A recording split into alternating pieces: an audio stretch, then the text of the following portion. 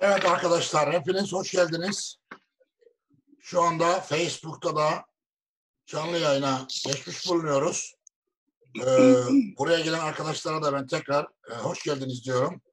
Arkadaşlar bir taraftan toplanırlarken, yavaş yavaş gelirlerken biz de yavaş yavaş başlayalım. Ee, hepinize tekrar hoş geldiniz diyorum.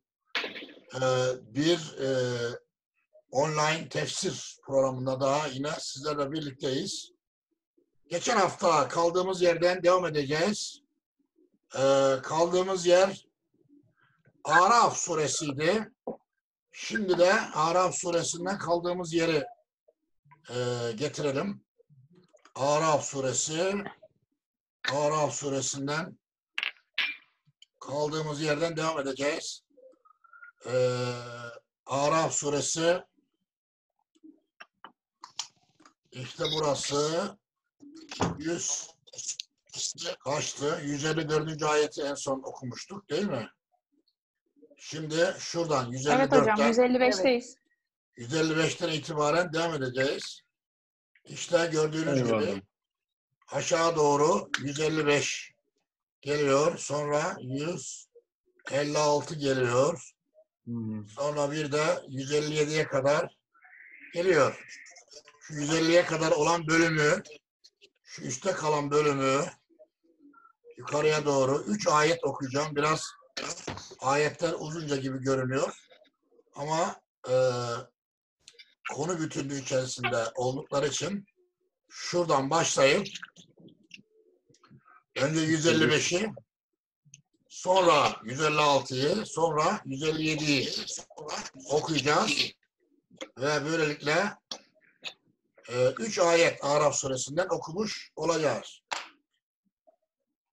Evet, şimdi burada konumuz konumuz Musa'nın Tur Dağı'ndaki yaptıkları idi. Hazreti Musa Tur Dağı'na Tur-i Sina'na daha doğrusu Sina Dağı'na Tur zaten dağ demek. Tur-i Sina Sina Dağı demek. Musa Tur-i Sina'ya çıkmıştı ve Tur-i Sina'da çeşitli e, başından geçen olaylar anlatılıyordu.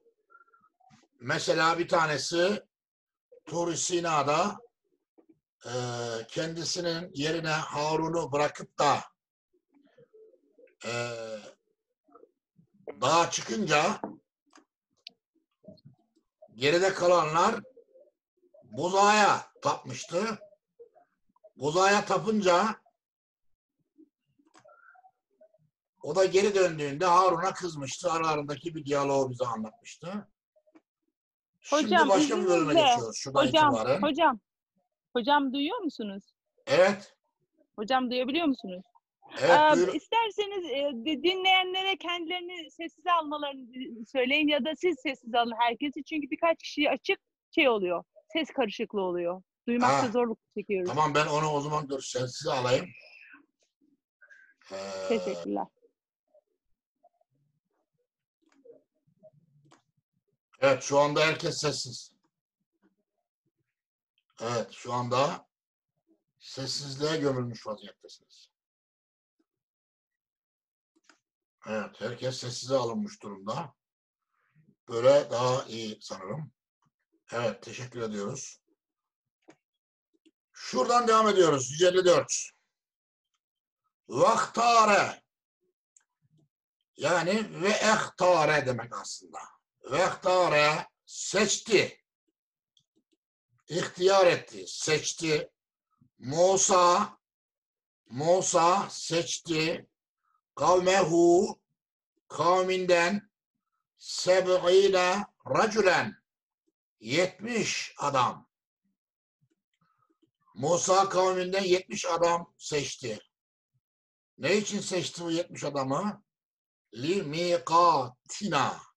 Li miqatina. Ee, belirlediğimiz vakit için. Belirlediğimiz vakitte 70 tane adamı getirmesi için yani bu 70 kişiyi eee, seçiyor ve bir heyet halinde e, dağa götürüyor. Ve belli bir vakte onda onlarla buluşmak istiyor. O nedenle kavminde 70 kişiyi seçiyor ve oraya götürüyor. Onun için 70 tane adamı seçti deniliyor. Bu vaktare kelimesi Türkçedeki ihtiyar kelimesinden de geliyor. İhtiyar aslında Arapçada yaşlı, e, biyolojik olarak yaşlı olan işte 65'i geçmiş ihtiyar anlamında değildir. İhtiyar e, seçim yapabilen demektir. Kendisi seçim yaparak e, hür tercihlerde bulunabilen kişiye ihtiyar deniyor. Mesela köylerde ihtiyar heyeti vardır. İhtiyar heyeti seçilir. Bu yaşlılar heyeti demek değildir aslında. İhtiyar heyeti hür iradesi olan, seçim yapabilme kabiliyeti olan, iyi kötüyü birbirinden ayırt edebilen ve kendi özgür iradesiyle görüş bildirebilen rey sahibi, görüş sahibi, özgür irade sahibi insan demektir aslında. Muhtar kelimesi de oradan geliyor. Muhtar kelimesi de Türkçe'de kullanıyoruz.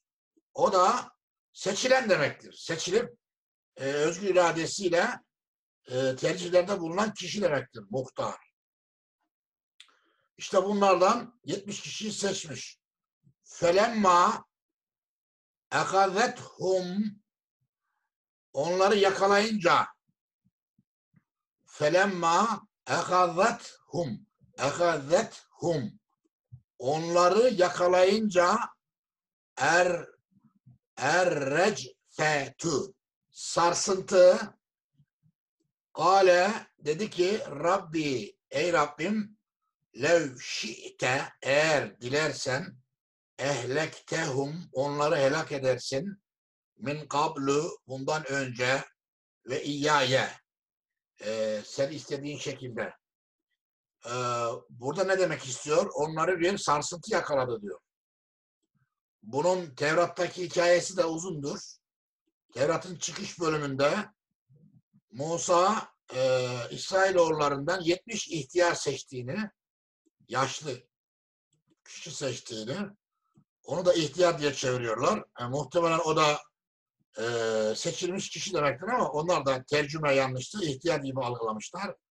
Öyle çevirmişler Tevrat'ta da. 70 tane yaşlıyı seçerek Sina Dağı'na çıkardığını söylüyor. Orada onlarla ilgili bazı uzun uzun ayrıntılı ayrıntılar veriliyor.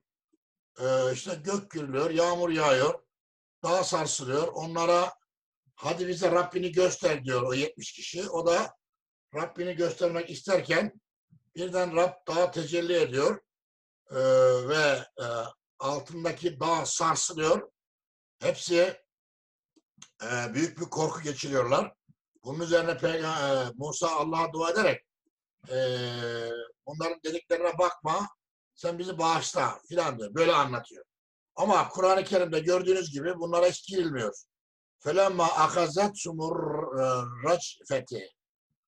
Sarsıntı onları sardığı zaman bu ne olabilir?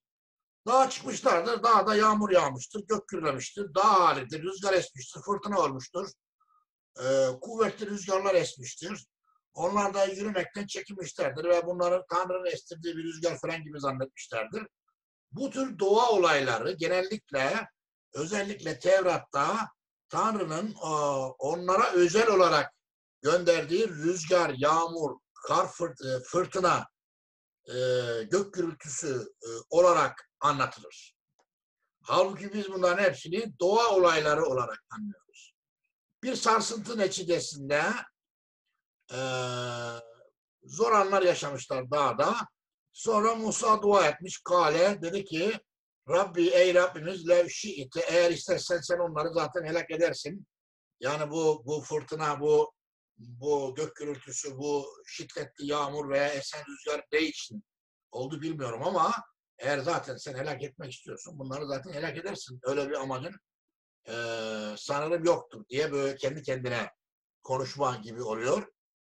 E, etühli küna etühliküna helak eder misin bima faale süfehâ'u minna. İçimizdeki beyinsizlerin yaptıkları yüzünden bizi helak mı edeceksin? Yani dağda e, diyelim bir e, gök gürleyip şimşek çakıp e, gök gürültüsü söz konusu olunca böyle kara bulutlar falan gelince e, e, onlar o günkü koşullarda e, daha bir önceki bölümde geçen e, buzağıya tapınma olayından dolayı Tanrı'yı kızdırdıklarını ve bu kızgın neticesi olarak da göklerin gürlemeye başladığını, şimşekler çaktığını ve Tanrı'nın e, bu e, buzağıya tapan halkı helak etme e, hazırlıkları yaptığını ve birazdan helakın geleceğini zannediyorlar. Ve o şekilde eğer diyor bizi içimizdeki beyinsizler yüzünden helak mı edeceksin? Yani ne yapıyorsun yani? Bu gök gürültüsü de nedir? Bu şimşek, yağmur da nedir? Ee, içimizde buzaya taptılar diye e, onları helak mı edeceksin? Şimdi bu tür doğayla ilişki e, özellikle o çağlarda normal. Zira bundan e, bundan nereden baksanız e, 3000 yıl öncesinden bahsediyoruz.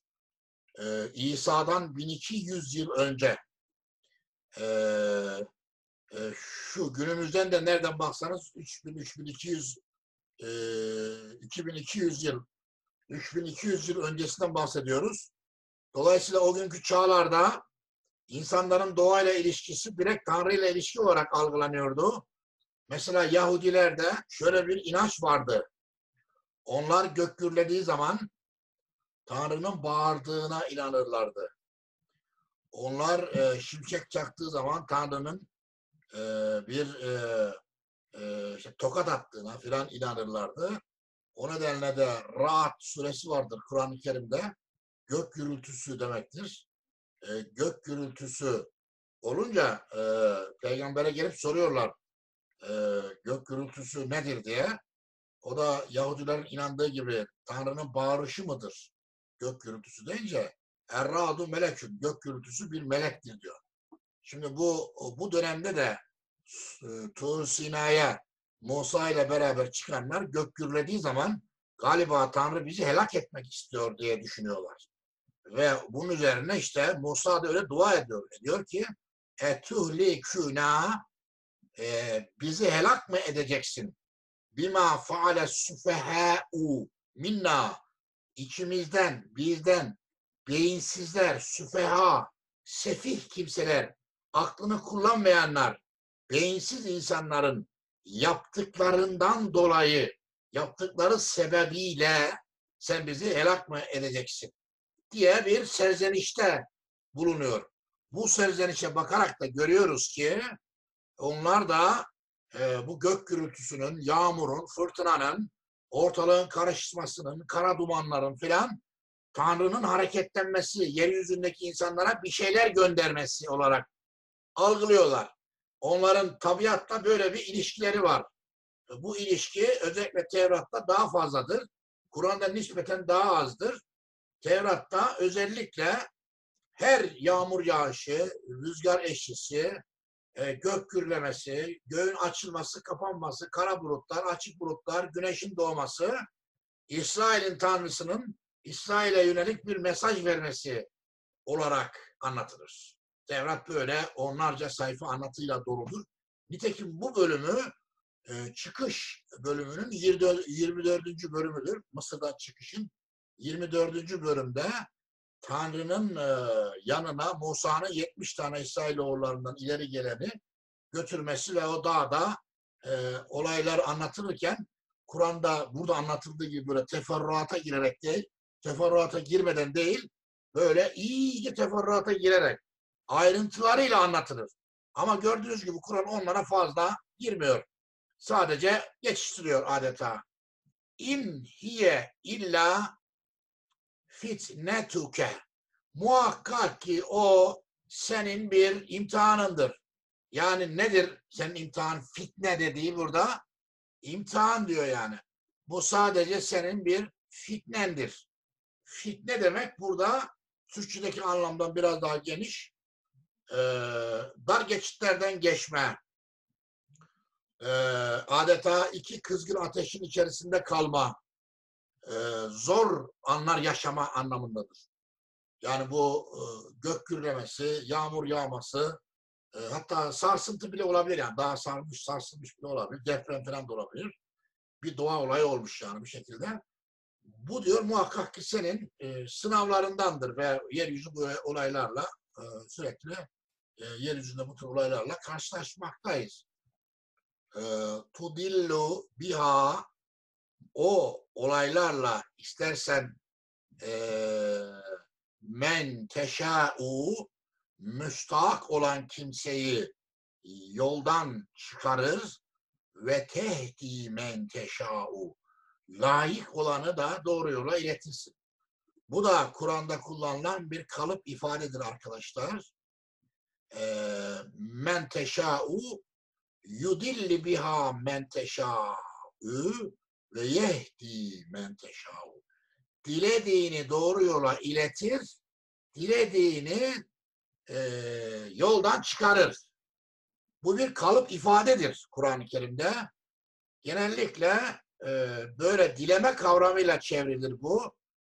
Dilediğini yoldan çıkarır, dilediğini doğru yola iletir. Yani kişinin burada elinde bir şey yok. Allah şöyle bakıyor, istediğini doğru yola iletiyor, istediğini doğru yoldan çıkarıyor. Bizim elimizde bir şey yok yani. E, rüzgarın önündeki yaprak gibi savruluyoruz. O zaman burada şöyle bir soru sorulur. O zaman bizi niye sınava çekiyor? Her şeyi o yapıyorsa, e, o beni doğru yola iletiyorsa, o beni e, e, saptırıyorsa, sonra niye doğru yola ilettin diye, doğru yolda yürüdün diye mükafatlandırıyor ve yoldan çıktın diye cezalandırıyor gibi çelişik bir durum ortaya çıkıyor. Bu soru cevapsız kalıyor. Çünkü yapılan çeviri yanlış. Ee, bunun doğru çevirisi şudur. Allah müstahak olanı e, saptığı yolda yürütür, layık olanı da doğru yola iletir. Yani sen müstahaksan, bunu hak etmişsen, hak ettiğin yola girersin. Bu da senin kararlarına bağlıdır. Aldığın kararlarla ya doğru yolda yürüsün ya eğri yolda yürüsün. Ee, kula bela gelmez Allah dilemedikçe. Ee, Allah dile gelmez kul müstahak olmadıkça diye bir söz vardır.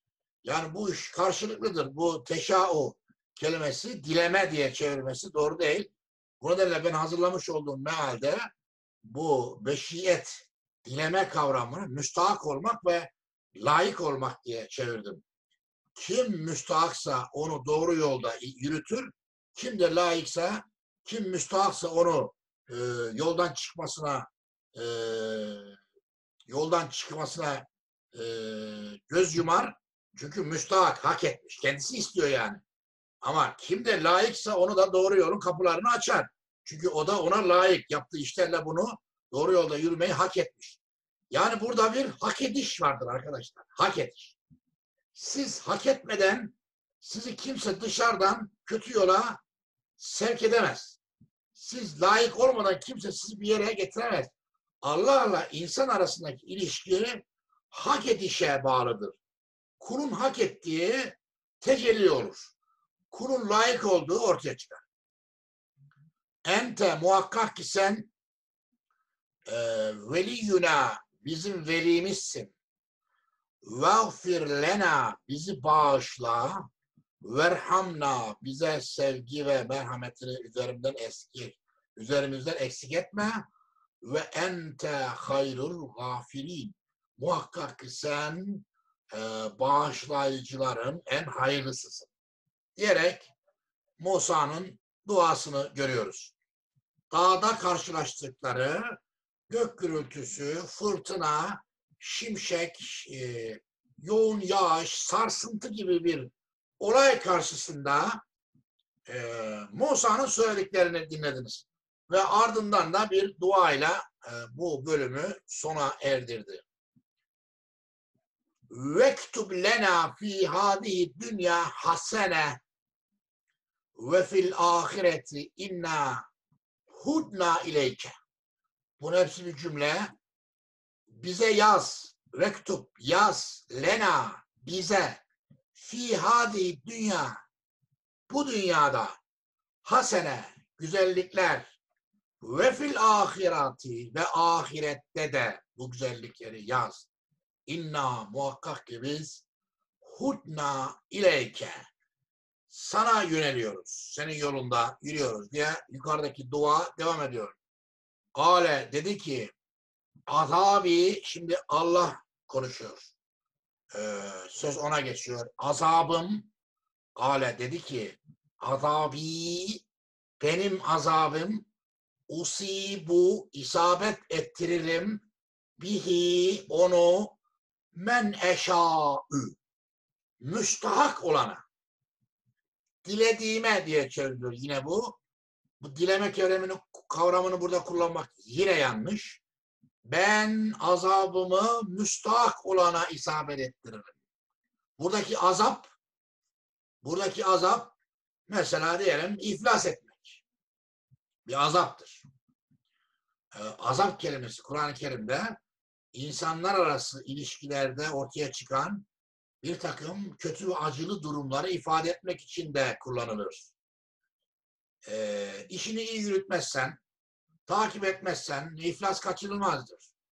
Veya e, ikili ilişkilerde taraflar birbirinin e, hassasiyetlerine özen göstermezlerse, birbirlerine karşı sevgiyi ve saygıyı kaybederlerse azap kaçınılmazdır. Yani acı çekeceklerdir. Ben diyor azabımı işte bu şekilde müstahak olana, hak etmiş olana isabet ettiririm, veririm. Ve rahmeti ve rahmetimi de vesiat kullu şeyin her şeye açarım. Bütün her şeye de rahmetimi açarım.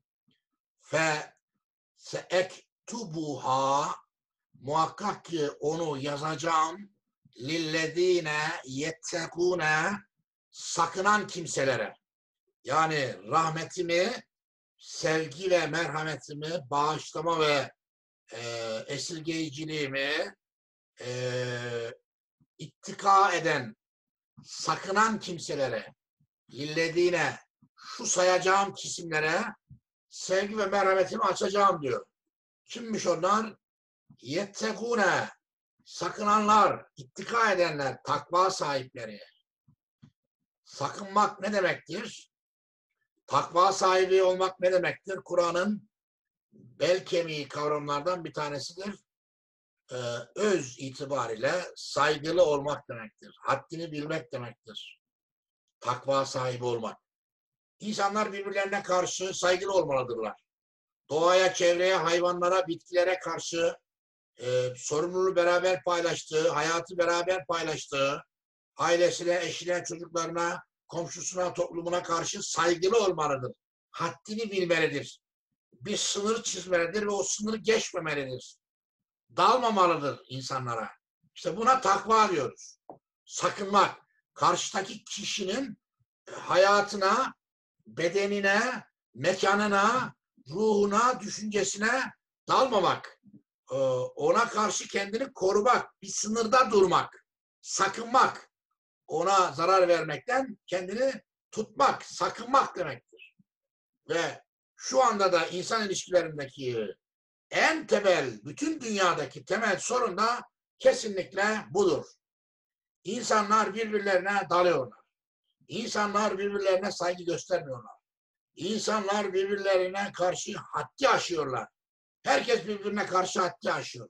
Ortalık haddi aşanlardan geçilmiyor her gün, her saat, her dakika birbirine hakaret edenler, saldıranlar, sövenler, küfredenler, mekanına, e, zamanına, alanına, sahasına, e, evine, ruhuna, bedenine, beynine saldıranlar, sınırları çiğneyip geçenler, had hudut tanımayanlardan geçilmiyor ortam. E, demek ki Allah'ın rahmeti ve sevgisi bağışlayıcı, sakınanlar, haddini bilenler, eee, saygılı olanlar üzerinde olacaktır. Kur'an'ın bizden istediği en temel kavram bu arkadaşlar. Takva sahibi olmak. Saygılı olacaksınız, haddinizi bileceksiniz. İkincisi ve yü'tüne zekate zekatı verenler. Yu'tune zeka. İhtiyaçtan fazlasını verenler demektir. Ez zeka fazlalaşan şey anlamına geliyor. Ez zeka. Zekat fazlalaşan şey demektir. Fazla olan şey demektir. Yü'tüne zeka fazlalaşanı verenler, biriktirmeyenler, kendinde fazla olan bilgiyi, parayı, zamanı, mekanı, yeri, e, ne varsa, fazla olan ne varsa onu paylaşanlar olmamızı istiyor. Allah'ın sevgisi, merhameti, mağfireti bunlar üzerine olacaktır diyor. Velledine ve o kimseler üzerine olacaktır ki hum onlar bir ayatina yu'minun. Ayetlerimize iman edenler. Ayetlerimize iman edenler, ihtiyaçtan fazlasını verenler ve sakınanlar üzerine Allah sevgisini, merhametini, mağfiretini ve bağışlayıcılığını yazmıştır. Bunları koruyacaktır, kollayacaktır. Bunlarla beraber olacaktır. Diyor.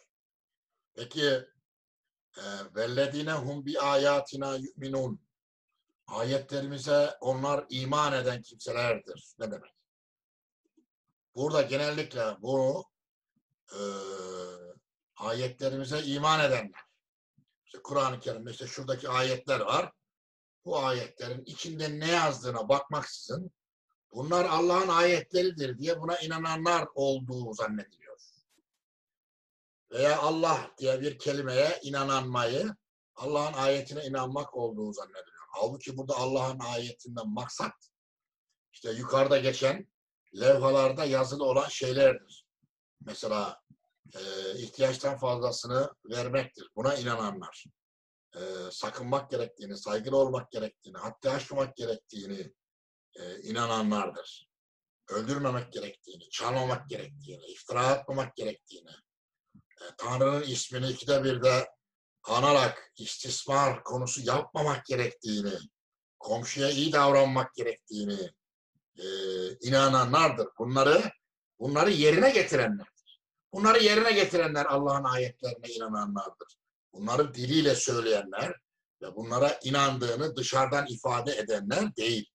Bizzat da bil fiil yapanlara Allah'ın ayetlerine inananlar diyor Kur'an-ı Kerim. Ellezine o kimseler ki diğer ayete geçiyoruz. Başka bir ayet. Şimdi bu konu oradan başladı böyle akarak devam ediyor. Ellezine o kimseler ki e, yettebi'ûne rasûle elçiye tabi olurlar. Nasıl elçiye? En nebiyyil ummiyye. Ümmi nebi elçi. Bakın ümmi nebi elçi. Er Rasul elçi. En nebiyyü haberci. El ümmiyyu ümmi haberci elçiye tabi olan kimseler.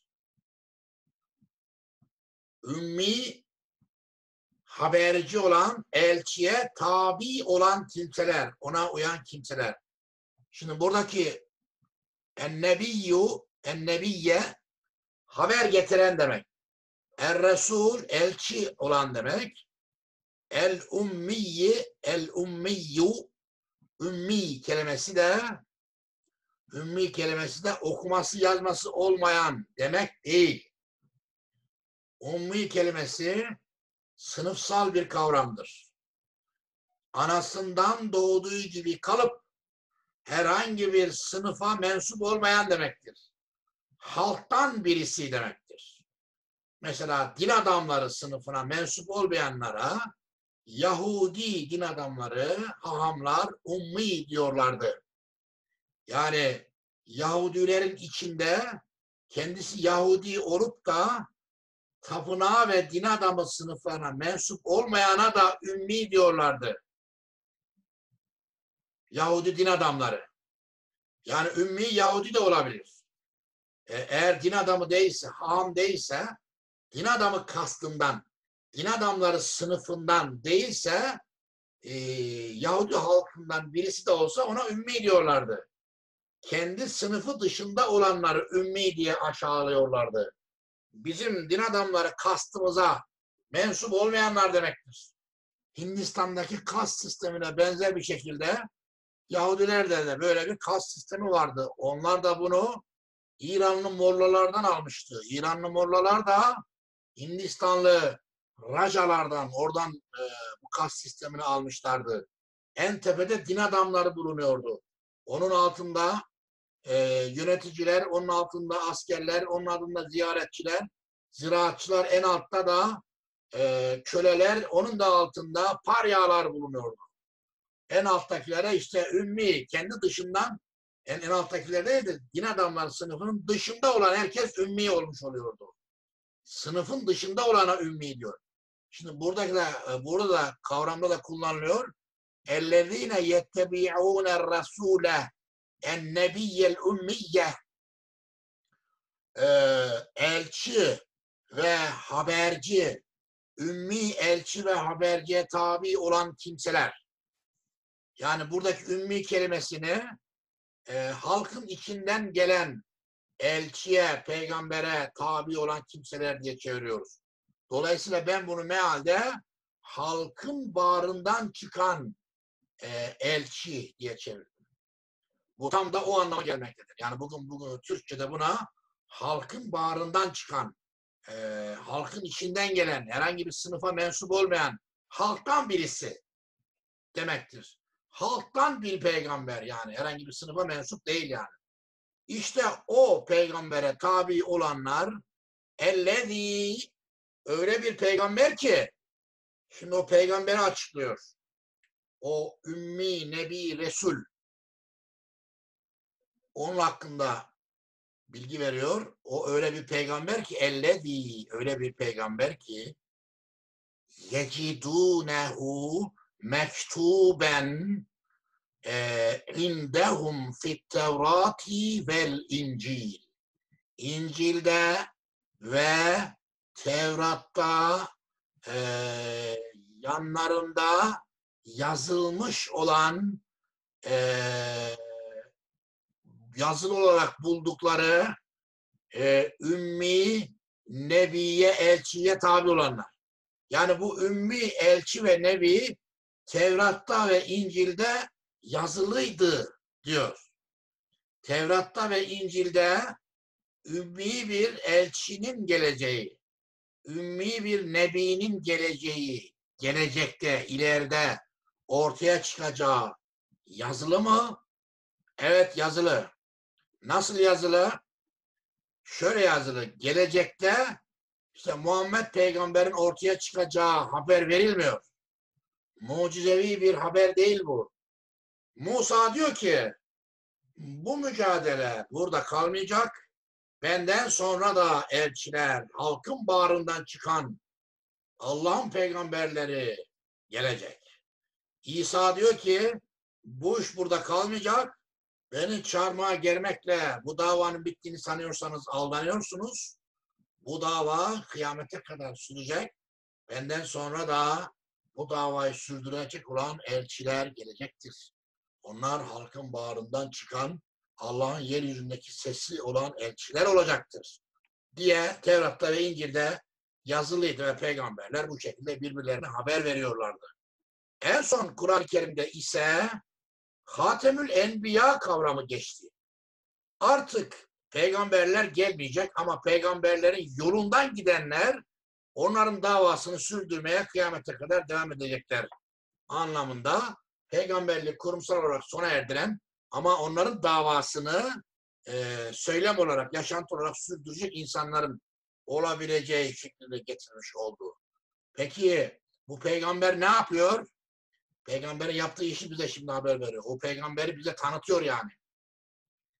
Ye'muruhum onlara emreder bil maruf maruf olanı, doğal olanı, tabii olanı, tüm insanlar tarafından iyi bilinen şeyleri onlara yapılmasını ister.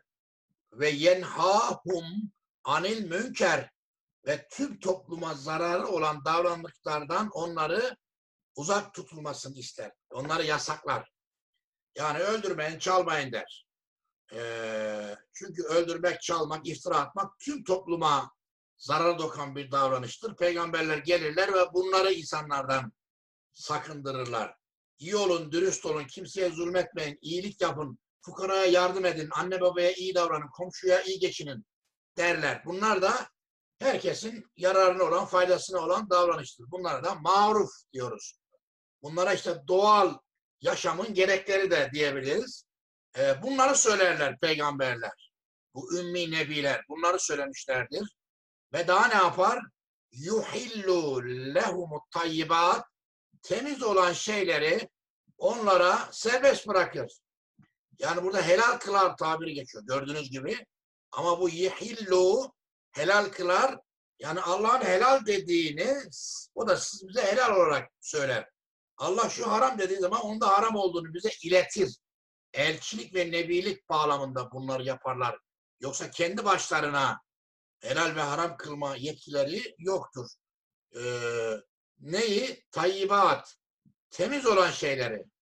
iyi, güzel, doğru, insan fıtratının kabul edebileceği, tabii ve doğal olan şeyleri yapmamızı isterler. Ve yuharrimu aleyhimul habaise ve habais olan kötü, çirkin, insan tabiatının nefret ettiği, doğal olmayan şeyleri de yasaklarlar. Bunları da yapmamamızı isterler. Ve daha ne yaparlar? Ve yada'u anhum israhum onların üzerindeki zorlukları kaldırırlar. Yada'u kaldırır. Anhu onlardan yani halktan neyi kaldırır?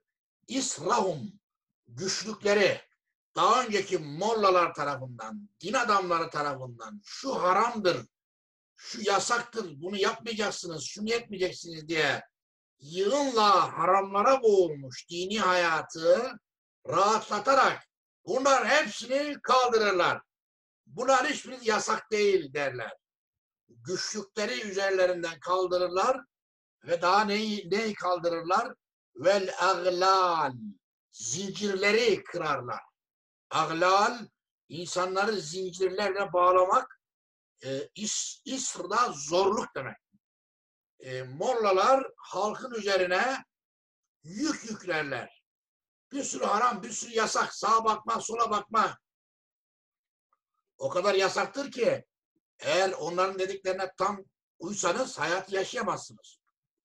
Mesela ben kendimden örnek vereyim. 18 yaşımda İhya-i Ulumiddin adlı kitap okumuştum. İmam Gazali'nin. İhya-i Ulumiddin dört cilt. Eve kapanmıştım. Onu okumuştum. Dindar olacağım diye.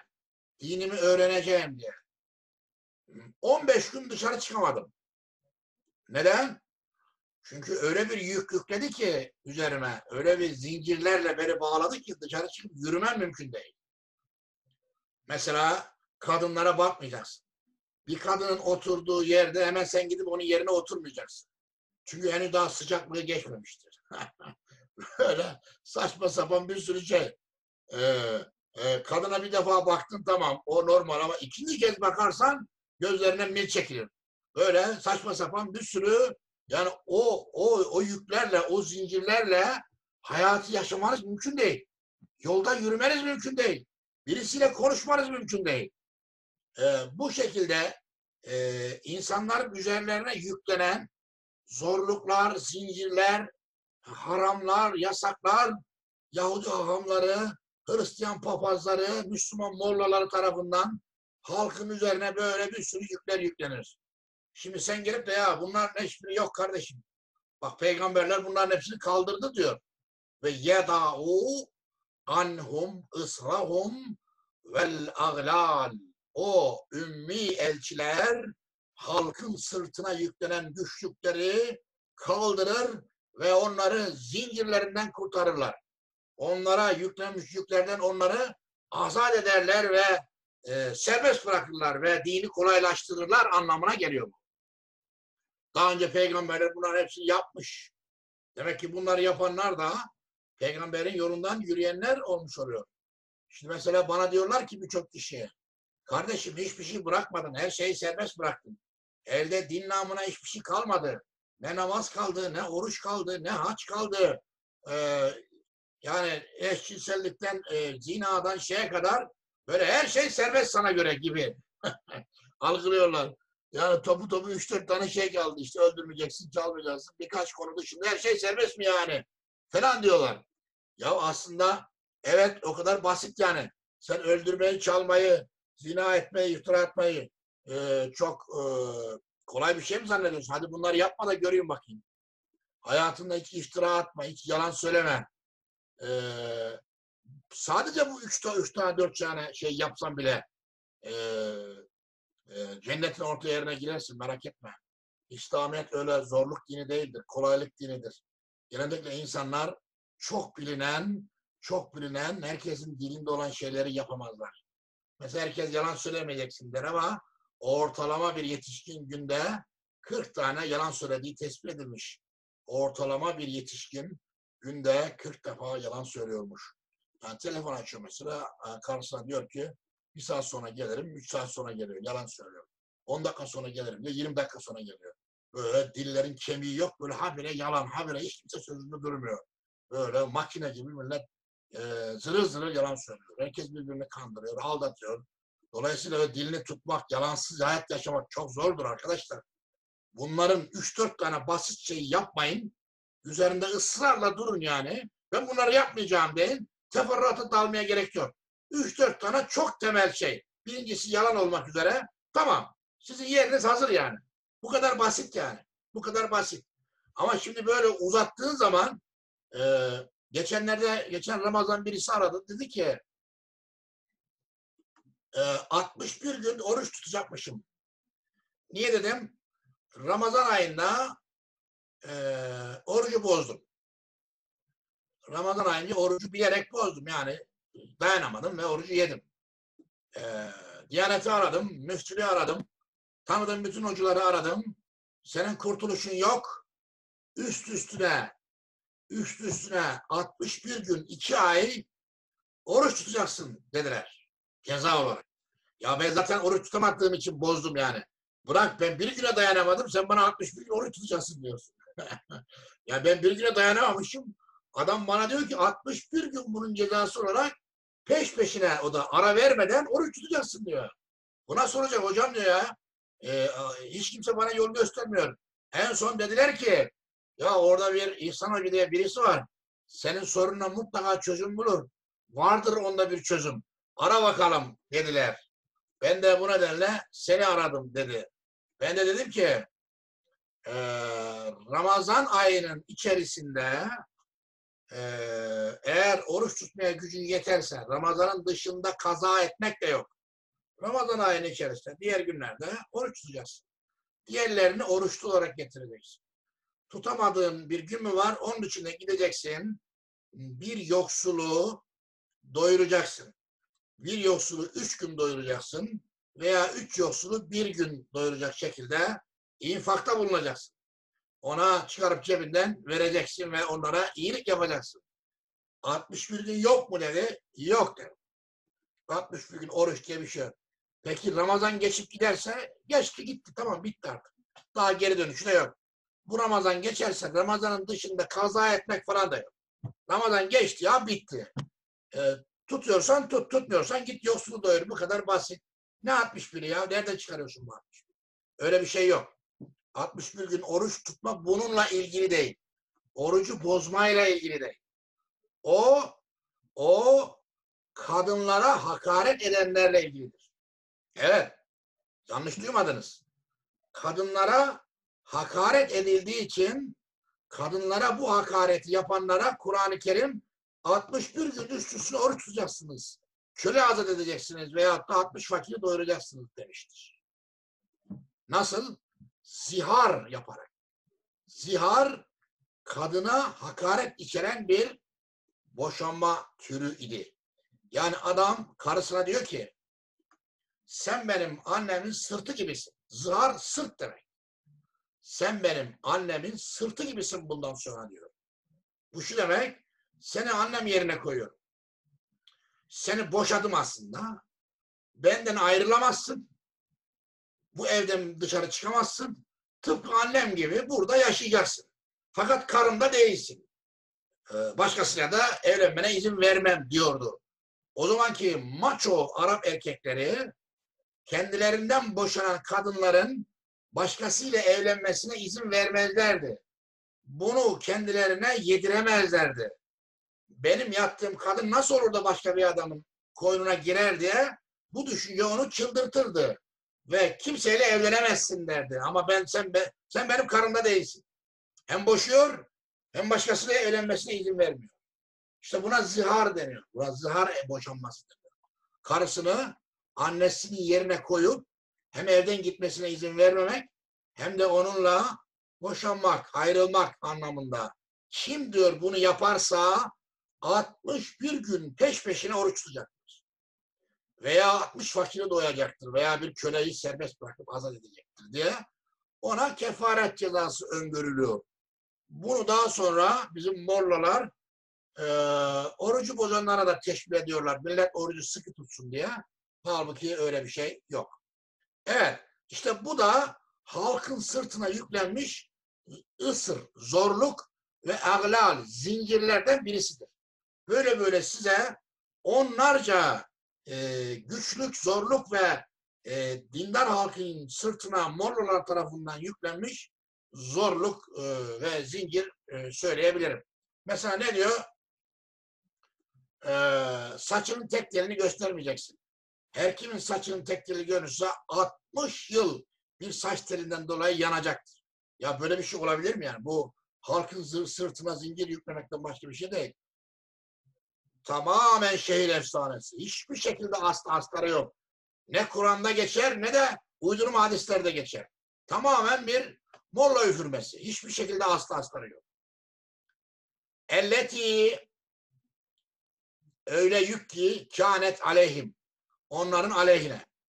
Yani halkın aleyhine onlara zor gelecek şekilde din adamları tarafından onların sırtlarına yüklenen yükler ve onları şu helaldir, şu haramdır, şu yasaktır diye bağladıkları zincirleri kırar bu ümmi elçiler. E, helal olan, doğal olan şeyleri serbest bırakır. Fıtri olmayan, çirkin olan şeyleri e, yasaklar, e, marufu yapılmasını ister ve insanları münkerden ne eder işte bu peygamberlerin yaptığı işler bunlardır diyerek peygamberlerin risaletin amacının ve görevinin ne olduğunu da bize burada hatırlatmış oluyor.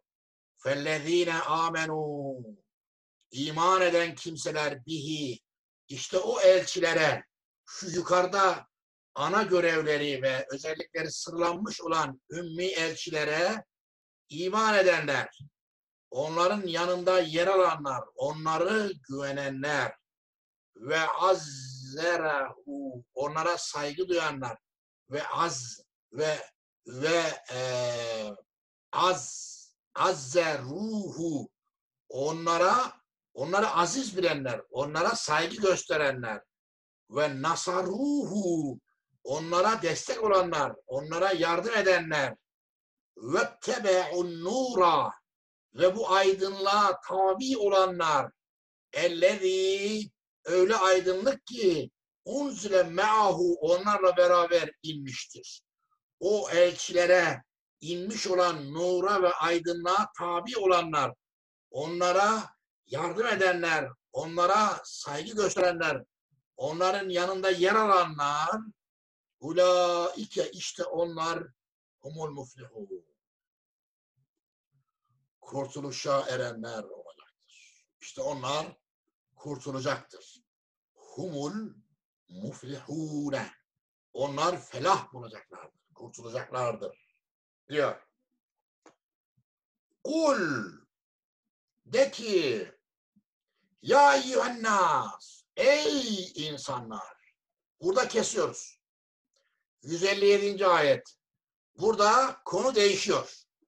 Yukarıda Musa kıssasının hemen sonrasında eee Tur Sina'ya çıkan 70 kişinin eee, duasını aktardıktan sonra genel bir nasihatte bulundu. Eee, Musa'dan İsa'dan sonra gelen elçilere uyanlar, o elçiler şunları yapacaktır, onlara tabi olanlar diyerek de bitirdi. Burada ise Gul diye başlıyor. Eee, başka bir eee, hafiften konu değişiyor.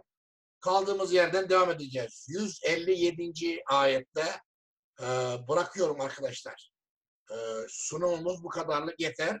Daha sonra kaldığımız yerden inşallah devam ederiz. Zaten eee 40 dakikayı da geçmiş bulunuyoruz. Sunum vaktimiz de şu anda dolmuş vaziyette. Evet, eee, Araf suresinin eee, 150 eee, 5, 156 ve 157. ayetlerinin tefsirini ve kısa açıklamasını dinlediniz. Evet, soru olan var mı? Önce eee, ben herkesi göremiyorum. Şu herkesi görmeyi eee, yapalım. Stop. Şu paylaşımı durdur dedim. Evet. Evet. Ayşe Özcan Eder hanımefendi sözü size bırakıyorum. Söz parmak kaldırmışsınız. Hocam evet. Em, çok teşekkür ederim yine. Eyvallah, çok harika bir sunum oldu. Allah razı olsun. Ben çok basit bir soru sormak istiyorum. Bu 157. ayette em, ki peygamber tanımını siz böyle genel bir peygamber olarak anlattınız. Yani bir bir peygamber dediniz. Hazreti Muhammed'e refer etmediniz yani. Onu tanımlamadınız. Bir peygamber hep böyle doğrulukları öğreten, işte pis şeyleri haram kılan, zincirleri indiren peygamber. Bu peygamber herhangi bir peygamber gelenlerden olabilir gibi geldi bana. Ee, ama e, bazı Müslüman yorumcular da, hocalar da bunu direkt buradan baktıklarında aslında bizim peygamberimizi tanımlıyor. O yüzden sadece ona uyanlar, o bu tanımlara da o uyuyor zaten. Onun yoluna gelenler sadece Müslümanlar cennete gidecek, kurtuluşa erecek, merhametini alacak Allah'ın gibi bir yoruma da giriyorlar. Ee, nasıl siz bunu yorumluyorsunuz şimdi? Gerçekten herhangi bir peygamber mi bu? Burada tanımlanan yoksa peygamberimizi mi işaret ediyor burası? Yani e, e, Tevrat'ta ve İncil'de haber verilen peygamber e, derken kimi kastediyor? Özel olarak e, peygamberi mi kastediyor? E, onu mu soruyorsunuz? Evet yani biz bu ayette geçen peygamber Hazreti Muhammed sallallahu aleyhi ve sellem Efendimiz. Şimdi isim olarak o değil. E, Değil. ama e, isim olarak yani e, şu zamanda şöylesi zamanda gelecek olan bir peygamber e, e, Tevrat'ta kendisinden sonra e, işte övülecek e, ve e, toplumda e, hamd etmesiyle e, yani Allah hamd etmesiyle ve çokça şükretmesiyle tanınan e, benden sonra peygamber, elçi gelecektir diye bir ifadenin geçtiği söylenir. Ama e, buradaki ifade e, özellikle e, nokta atışı olarak Mekke'deki Muhammed peygamber değil. Çünkü genellikle e, peygamberler kendilerinden sonra gelecek olan peygamberlere de bir şekilde haber verirler. Ama kim olduklarını bilmeksizin. Yani benden sonra bu iş devam edecek. Benden sonra bu dava burada böyle yarım kalmayacak.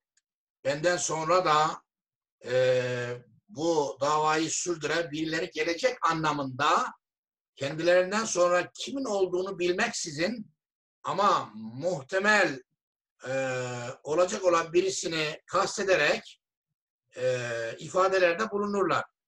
E, bunu Musa da yapmış, İsa da yapmış. E, hani bu şuna benzer. Hani biz şu anda mesela ne diyoruz?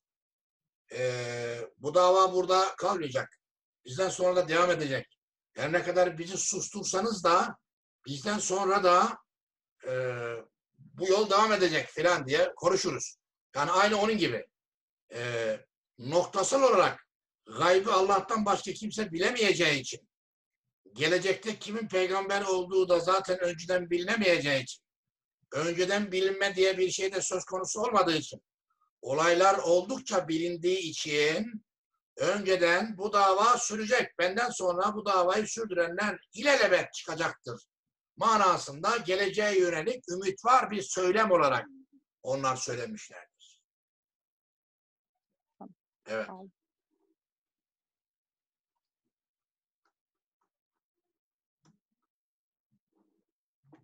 Evet arkadaşlar. Ee, Ali İsmet e, Koçak beyefendi. Ee, evet. Ali İsmet Bey buyur. Hocam iyi akşamlar, iyi yayınlar. İyi akşamlar. Teşekkür ederiz. Sağ olun. Hocam ben bugünkü tefsirinizden e, kıssadan hisseleri sizinle paylaşmak istiyorum ve sonunda da bir soru soracağım.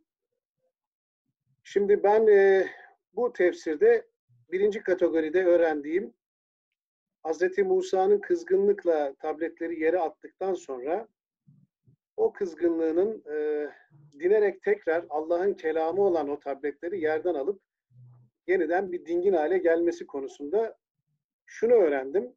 Peygamber de olsan öfke kontrolü sorunu yaşayabiliyorsun. Yani Evet. sigortaların atabiliyor. Evet. Gayet insani bir dışa vurumsal bir şey. Demek ki biz peygamberlere insanüstü bir takım şeyleri e, onlara e, şey yapmamamız lazım, yaftalamamamız lazım diye düşünüyorum.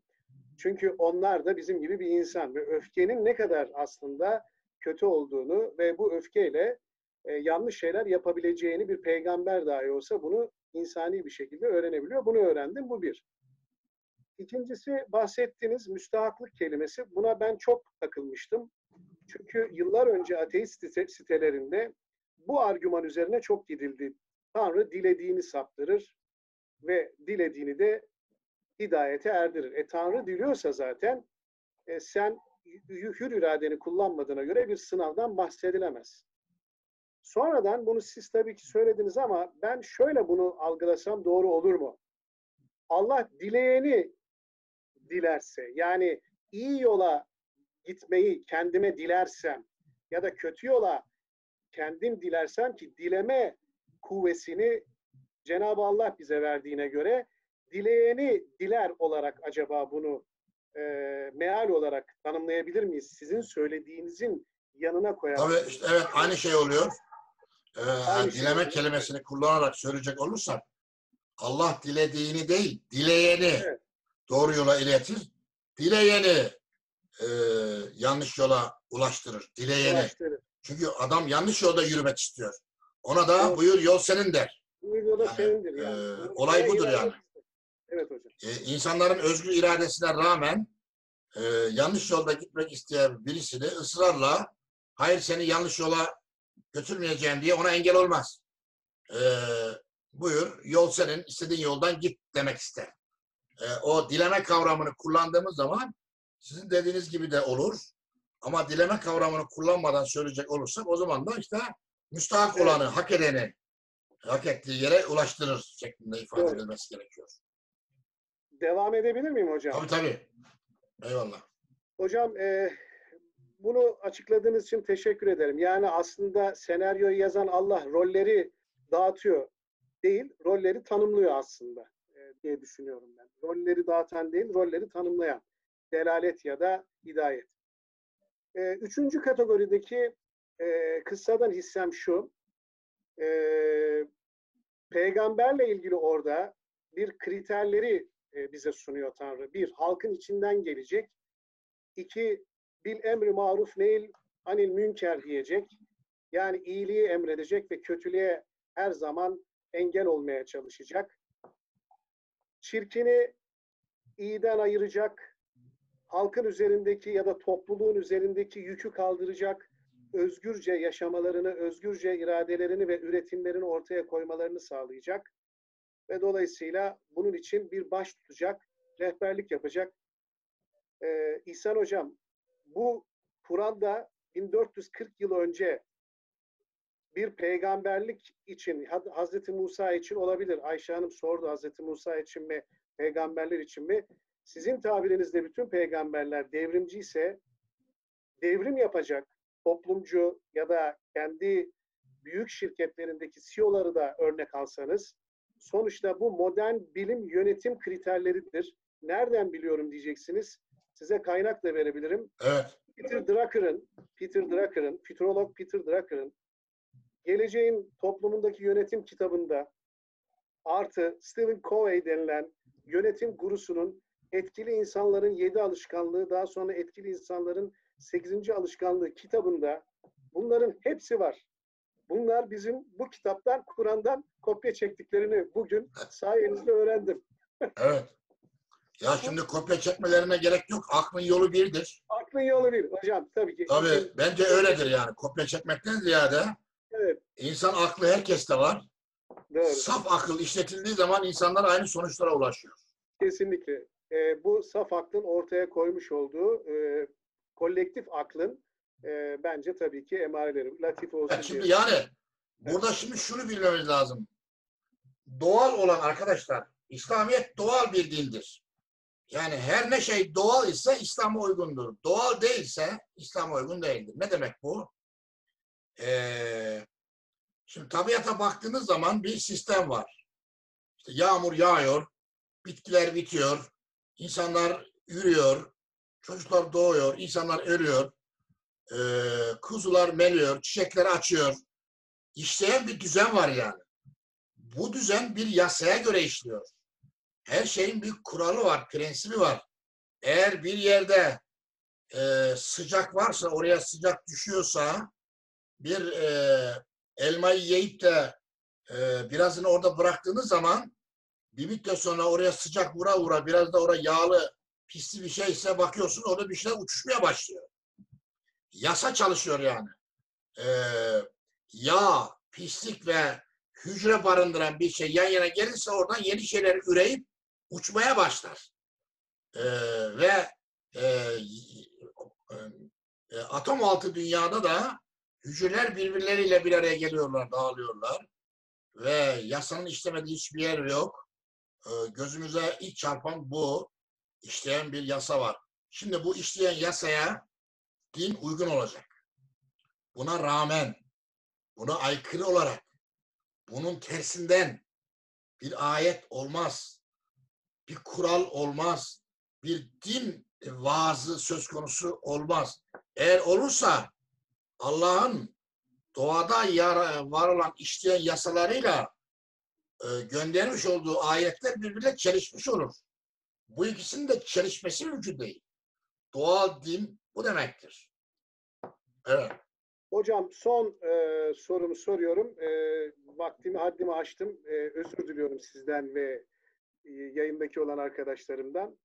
E, kendisi bir Yahudi olan 17. yüzyıldaki rasyonalist filozoflardan Spinoza'nın Tanrı algısıyla ilgili siz ne düşünüyorsunuz? Çünkü ben Spinoza'yı uzun zamandır yakın markajda inceliyorum emin olun birçok yaklaşımda bulunan yazarların ve bu konuyla ilgili olan görüşleri olan ilahiyatçıları da dinledim. Ki hatta geçen ay bir ilahiyatçı isim vermeyeceğim.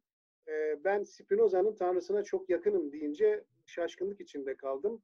Çünkü Spinoza'nın tanrısı yani panteizm, panenteizm ya da bazen anti ateizm, ateizmle de e, kendisi e, suçlanabiliyor. E, burada o tanrısı algısı bir tanrının yaratılış oluşta ve yaratılışta olmayan bir tözden, bir cevherden bahsettiği için Spinoza'nın tanrı algısını siz nasıl buluyorsunuz?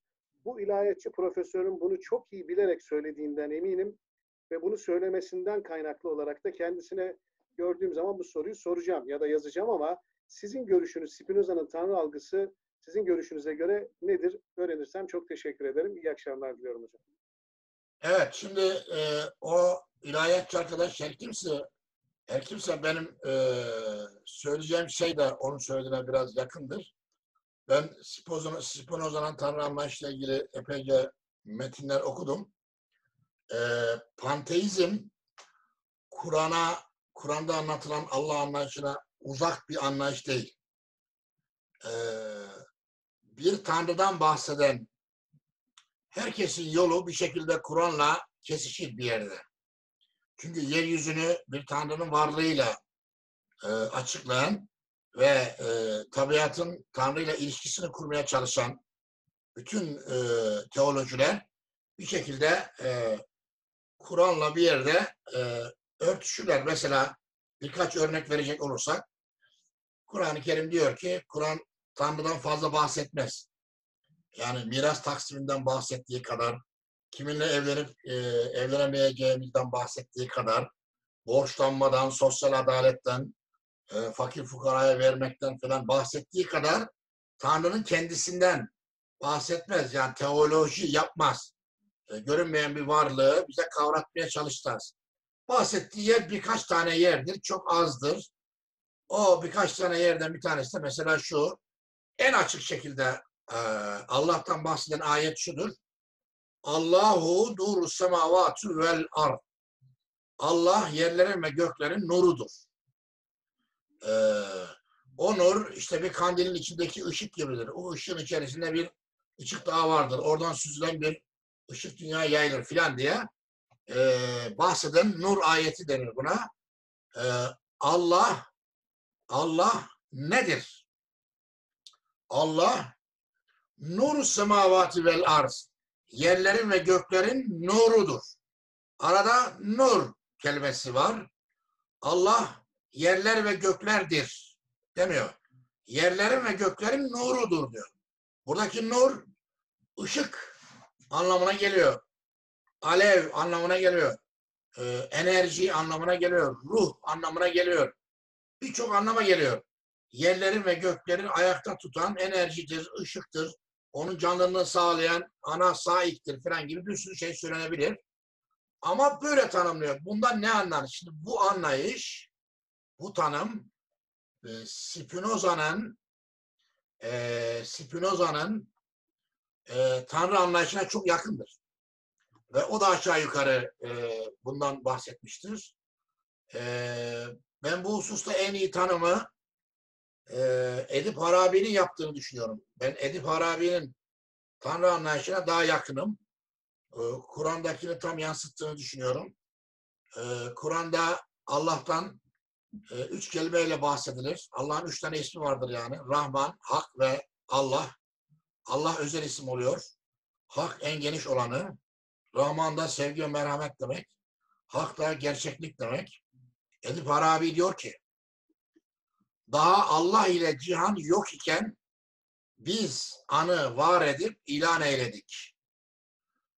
Hakka layık hiçbir mekan yok iken alıp hanemize mihman eyledik diyor. Bir kez daha söylüyorum, dikkatli dinleyin. Birinci mısrada Allah'tan, ikinci mısrada haktan bahsediyor. Hak daha geniş, hiçbir mekana sığmıyor, kavranamıyor, kuşatılamıyor. Ama Allah kavranıyor, kuşatabiliyor. Ee, daha Allah ile cihan yok iken biz onu var edip ilan eyledik. Hakka layık hiçbir mekan yok iken alıp hanemize miman eyledik. Yani bu anlatıya göre şu demiş, şu demiş oluyor. Hak bir tanedir ama Tanrı isimleri çoktur. Yeryüzünde şu anda 380 tane Tanrı ismi var. Bunlardan bir tanesi de Allah. Allah daha çok Orta Doğu'da, Arapların yaşadığı coğrafyada, çöl ortamında, İbranilerin, Asurluların, Babillerin ta Sümer'e kadar giden e, bu coğrafyada ortaya çıkan peygamberler, dinler ve Allah'ı hakkı anlamak isteyenler ona Allah demişlerdir. Ve haktan e, bunu anlamışlardır. E, Allah onların haktan anladıklarıdır. Yani Allah'ı biz var ediyoruz. Allah ismini biz koyuyoruz. Hakkı değil. Hak hiçbir mekana sığmıyor. Bizi aşıyor. Yaşanan gerçeklik demektir. Onu kuşatmamız da mümkün değildir. Ama onun ne olduğunu anlamaya çalışıyoruz ve buna isim veriyoruz. Onu dünyamıza indiriyoruz. Hanemizde mihman ediyoruz. Onunla iletişime geçiyoruz. Onunla bir tecrübe yaşıyoruz. Vahiy alıyoruz, bildiriyoruz peygamberler olarak. Ondan kitap getiriyoruz. İşte o Allah olmuş oluyor. Anlatabiliyor muyum? Ama hak kavranılması, e, tamamen kavranılması mümkün değil. Hak nedir? Hak gerçeklik demektir. Gerçeklik neyse o. Ben ona inanıyorum. Gerçeklik neyse ben ona inanıyorum. Şu anda gerçekliğe Orta Doğu'daki peygamber Allah diyor. O zaman işte benim Allah anlayışımda o olmuş oluyor. Dolayısıyla bu anlattığım şey Spinoza'nın Tanrı anlayışına çok yatkındır ve yakındır. Bunları söyleyen kişiler genellikle panteist olmakla, yerlere göklere Tanrı demekle falan suçlamışlardır. Bunların asla asları yoktur. Kur'an-ı Kerim'de biraz okuduğum ayetlere bakarak da rahatlıkla Kur'an'ın panteizm öngördüğünde ileri sürebilirsiniz. Yerlerin göklerin nuru Allah'tır diyor. Ee, Allah, Allahu el evvelü vel ahiru vel zahiru vel batunu. Allah nedir?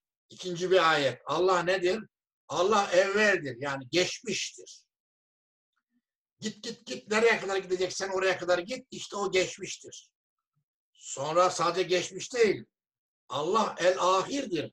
Git git git ileriye doğru ne kadar ileriye gidersen git en ileride olan şeydir. Zahirdir. Bütün bu görünenlerdir. Batındır. Bütün bu görmediklerindir. E başka bir ne yön kaldı? Bir geçmiş var. Bir gelecek var. Bir görünen var. Bir de görünmeyen var. Başka bir boyut kaldı mı? Kalmadı. Bunların hepsi de Allah'tır diyor. Allah her yerdedir diyor bunu söyleyerek. Dolayısıyla şimdi her şeyi kuşatmış oluyor. Ee, insanın bence yön boyutuna burada hitap ediyor. Yani her dört tane boyut biliyorsunuz siz diyor insan idrak olarak. Her yerde o vardır. Eğer beş olsaydı beş yerde o olacaktı. Yani insan boyutunun idrak edebildiği her yerde onun olduğunu söyleyerek bütün boyutları kuşattığını bize anlatmaya çalışıyor. Dolayısıyla yer ve mekan biçmek bu anlamda oldukça zor olmuş oluyor. Ee, evet. Ee, şimdi bir dakika arkadaşlar. Ee, bu başlangıçta e, Facebook'ta ben e, canlı yayını açıp derse daldım. Ama uzun bir süredir bir haber alamadığım için ders bittikten sonra Facebook'ta bağlantı olmadığını e, haberini alır almaz sorular başlarken Facebook'ta canlı yayını tekrar başlattım. Dolayısıyla dersin uzun bir bölümü herhalde ilk 10-15 dakika hariç Facebook'ta yayınlanmadı. Neyse şimdi oradan gelen bazı sorular var. Ee, o soruları ben bir bakalım arkadaşlar. Yine onlara ilgi göstermiş olalım.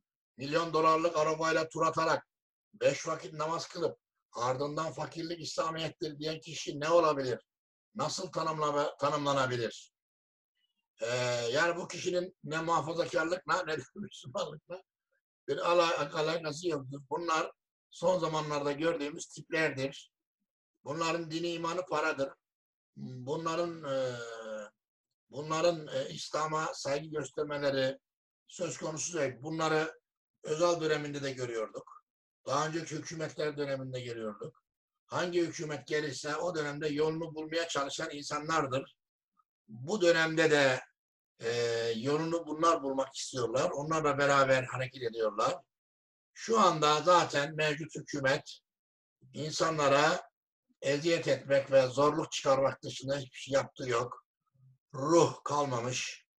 hizmet aşkı diye bir şey kalmamış. Dava diye bir şey kalmamış. Bitmiş, tükenmiş, yorulmuş. Ee, para kazanmak.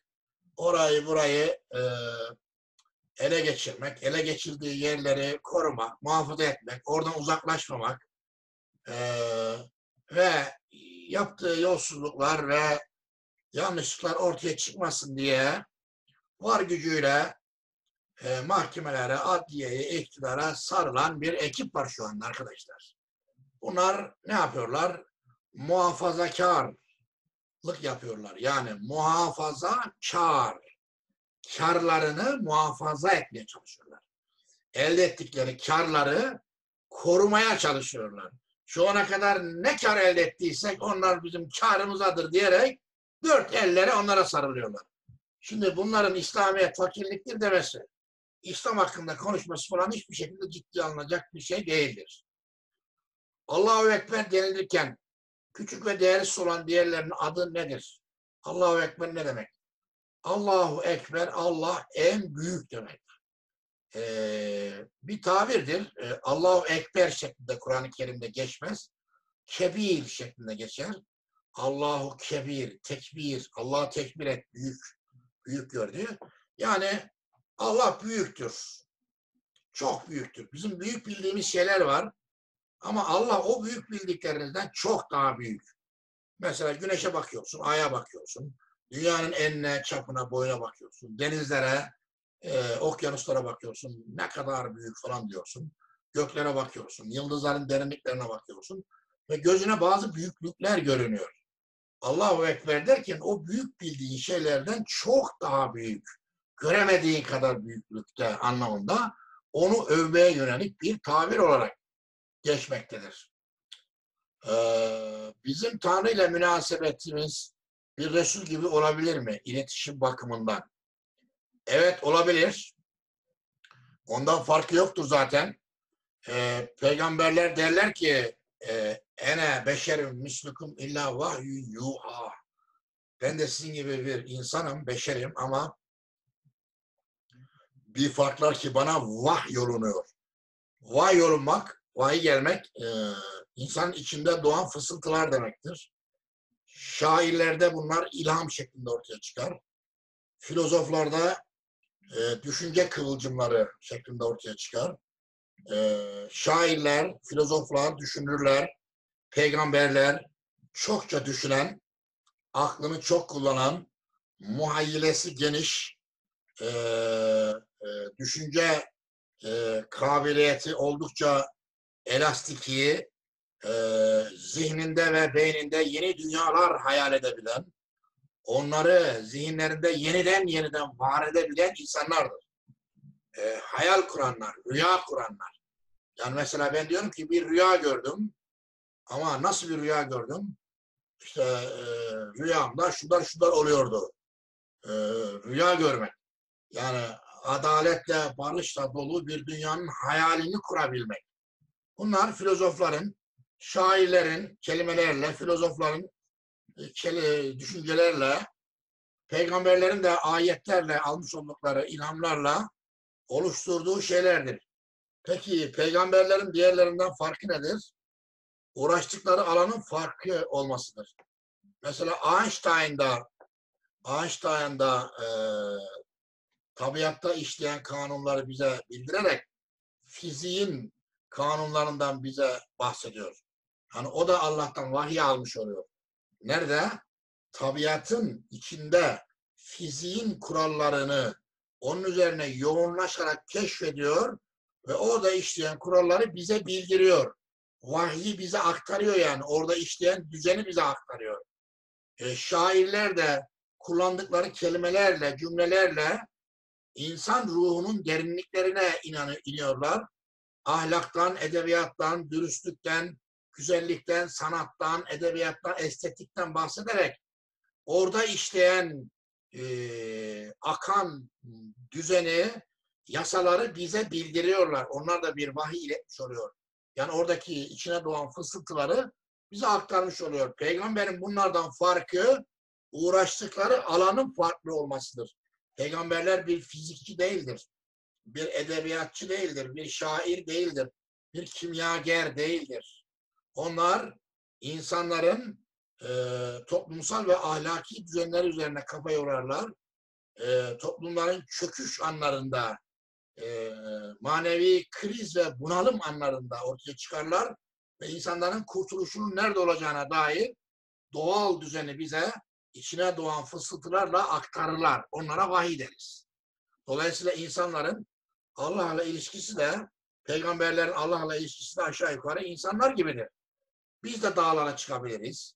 Biz de 40 gün bir mağarada gökyüzünü seyredebiliriz. Biz de derin düşüncelere dalabiliriz. Bizim içimizde de o ilhamlar oluşabilir. Ama bu ne işe yarar? Kaç kişi bununla ikna ederiz? Ve biz e, yaşantı olarak yaşantı olarak e, onlar kadar temiz, masum, e, günahsız e, birileri miyiz? Yalansız birileri miyiz? E, onlar gibi tarihin kırılma anlarında e, mı yaşıyoruz? Bunlar e, bir peygamberin ortaya çıkışında çok önemli. koşullardır.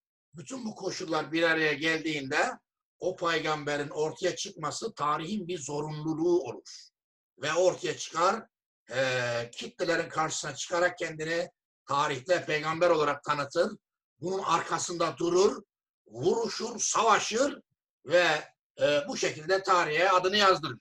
Bu iş böyledir yani. Buyurun siz de olmak istiyorsanız hodri meydan. İstediğinizi yapabilirsiniz. E, nereye kadar gücünüz yetiyor? Hangi sözü getirebilirsiniz? Onun söylediği sözler insanları sarsıyor, etkiliyor. Mesela niye insanlar Nazım Hikmet gibi şiir söyleyemiyor? Ee, e, Nazım Hikmet'in söylediği dizeleri biz de biliyoruz. O kelimeleri biz de biliyoruz ama onun gibi niye e, söyleyemiyoruz? Onun zamanında niye söyleyemiyoruz? O tarzda niye söyleyemiyoruz? Bir ağaç gibi tek başına ve hür ve bir orman gibi kardeşçesine. Bu sözü sen ben niye söyleyemedik? Düşünün. De Nazım Hikmet söyledi. Çünkü o şair. Peygamberler de böyledir. Niye Kur'an sana bana inmiyor da ona iniyor? Öyledir. Bu öyledir. Bunun bir sürü sebepleri var. Yani senin ruhunda neler kaynıyor? Senin ruhun e, bu konular üzerine ne kadar düşünmüş? E, Nazım Hikmet'e git bir sor bakalım bunlar üzerine ne kadar kafa yormuş.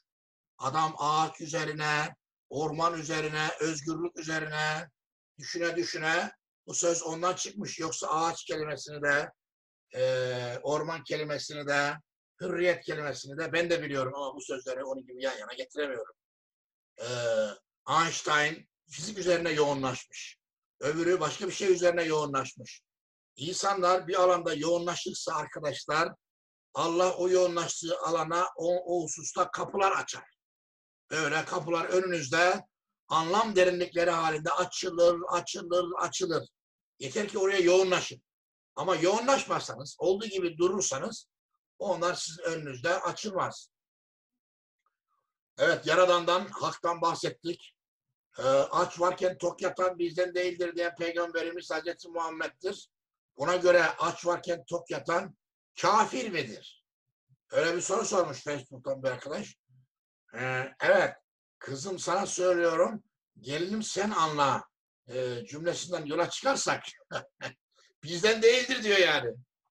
Yani Müslüman değildir diyor. E, komşusu açken kendisi tok yatan bizden değildir diyor. Kafirdir demiyor.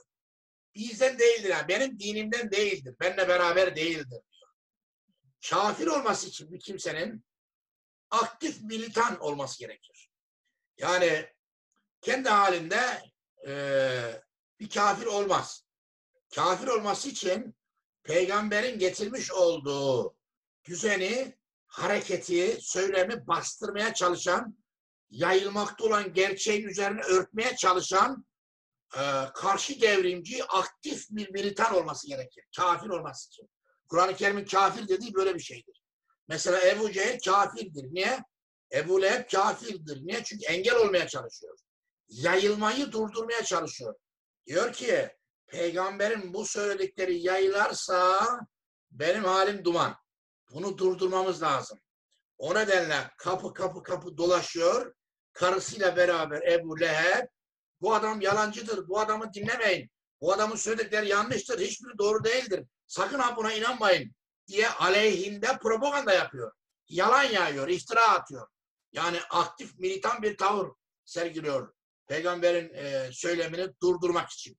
Kafir diye işte Kur'an esasında tam bunlara diyor. Peki ben alkol alıyorum, sokak hayvanlarına bakıyorum, acaba kul hakkı mı yiyorum? Allah'ım yarabbim. Evet. Ee, şimdi bence alkol almasak iyi olur. Ee, ama alkol aldığın için e, dinden falan çıkmış olmazsın. Ee, benim görüşüme göre buradan hazır alkolü sormuşken e, e, bir insanın e, rakı içmesi, alkol e, içmesi değil, sarhoş olması haramdır. E, bu da dünyadaki şu anki e, alkol uygulamasıyla paraleldir. Şu anda siz e, belli bir limiti aştığı an trafikte seyredemezsiniz. Yani sarhoş halde trafikte size kimse e, araba kullandırtmaz. Ağzınıza sokar trafik e, memuru. Belli bir limiti geçti in aşağıya der, basar cezayı. E, sarhoş bir halde meslek icra edemezsiniz. Sarhoş, sarhoş bir halde üzerinizde e, silah taşıyamazsınız. Asker, polis sarhoş bir halde mesleğini icra edemez. Onlara silah falan teslim edilemez. Kamu kuruluşlarının herhangi birisinde sarhoş sarhoş memuriyet ifa edemezsiniz. Dünyanın hiçbir yerinde buna müsaade edilmez. E, aa, evinde adam alkol kafayı çekmiş, sızmış, uyumuş. Buna kimse bir şey demiyor. E, şimdi Kur'an-ı Kerim'in dediği tam da işte budur. La tekrabus salah salate yaklaşmayın ve entümüs sukara sarhoş olduğunuz halde. Buradaki salat yardımlaşma, dayanışma faaliyetinin cereyan ettiği cemiyet hayatı demektir. O günkü toplumda bu camideki toplantı anlamına geliyordu. Namazda kılınan camideki salat toplantısına sarhoş halde gelmeyin diyor. Bugün bunu nasıl algılıyoruz? Bütün bu camide yapılan faaliyetler şu anda kamu hayatında yapılıyor. Yani cemiyete çıkmayın diyor. Cemiyete sarhoş bir halde çıkmayın. Sarhoş bir halde cemiyetin içinde bulunmayın diyor. O halde etrafınıza zarar verirsiniz diyor. Ee, dolayısıyla bu e, bu şekilde anlaşılması lazım.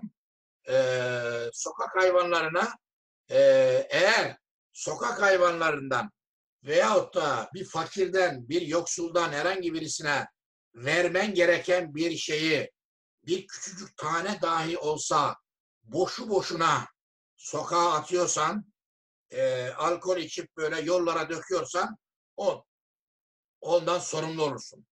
Çünkü bizim harcadığımız şeylerde arkadaşlar e, hakkı olanların, mahrum olanların hakkı vardır.